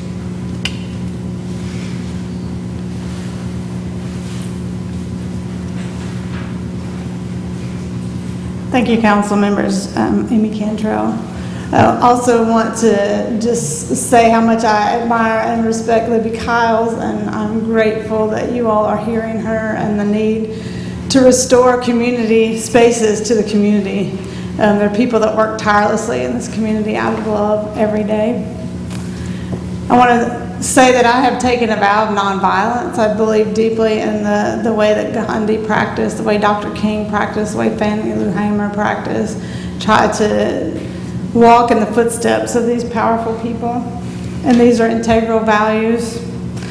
There are other values like integrity, professionalism, trustworthiness. These are values that we hold deeply in this community and that resonate with many of us. I'm deeply disturbed about surveillance, intelligence gathering conducted by the Asheville Police Department recently revealed to the public, and thus proving that they lied to the public at a Citizen Police Advisory Committee about doing these things. It is disturbingly unethical. It is a slippery slope constitutionally. It's troubling in a time when APD has deeply fractured their relationship with the community that they would be doing this. This does not create trust, it breaks it. It feels like an intimidation tactic being used against community members who have committed themselves to civic engagement, to attending countless city meetings, to being good neighbors, because this is what good neighboring looks like, is being present and standing with our community, to work to end racism and racial disparities and other struggles that we have as a community. Though I do many things out of deep love, this is one of the things that I do out of the deepest love and reverence for all people, and yes, for police officers too. We continue to grow the APD, and yet problems with APD also continue to grow. We have a serious over-policing issue in Asheville, and this is just one example. People who live every day to take care of elders, to promote public transit, to work to make sure homeless and vulnerable people are taken care of, are also the ones that are targeted in this way. Lawyer and theologian, the late William Stringfellow, says systems that have lost their humanity use tactics like doublespeak and surveillance of citizen community members as tools. We must restore the humanity and value system of this department. Swift action needs to be taken by council to call for an end of using these types of repressive tactics. Thank you.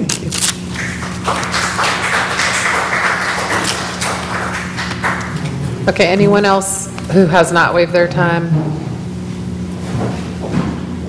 Okay, we have a closed session uh, motion. Will read. I move that Asheville City Council go into closed session for the following reasons: to prevent disclosure of information that is privileged and confidential pursuant to the laws of North Carolina, or not considered a public record within meaning of Chapter 132 of the General Statutes, the law that makes information privileged and confidential in North Carolina General Statute 143 through 318, 10A3. The statutory authorization is contained in North Carolina General Statute 143 through 318, 11A1 to consult with an attorney employed by the city about matters with respect to which the attorney-client privilege between the city and its attorney must be preserved, included, including but not limited to a lawsuit involving the following parties: City of Asheville versus TNT Enterprises, City of Asheville versus Parkway Court LLC. The statutory authorization is contained in North Carolina General Statute 143 through 318, 11A3. Also, to establish or to instruct the city staff or negotiating agents concerning the position to be taken by or on behalf of the city in negotiating the terms of a contract for the acquisition of real property by purchase, option, exchange, or lease. The statutory authorization is contained in North Carolina General Statute 143 through 318, 11A5. Second. All right, we have a motion and a second. All those in favor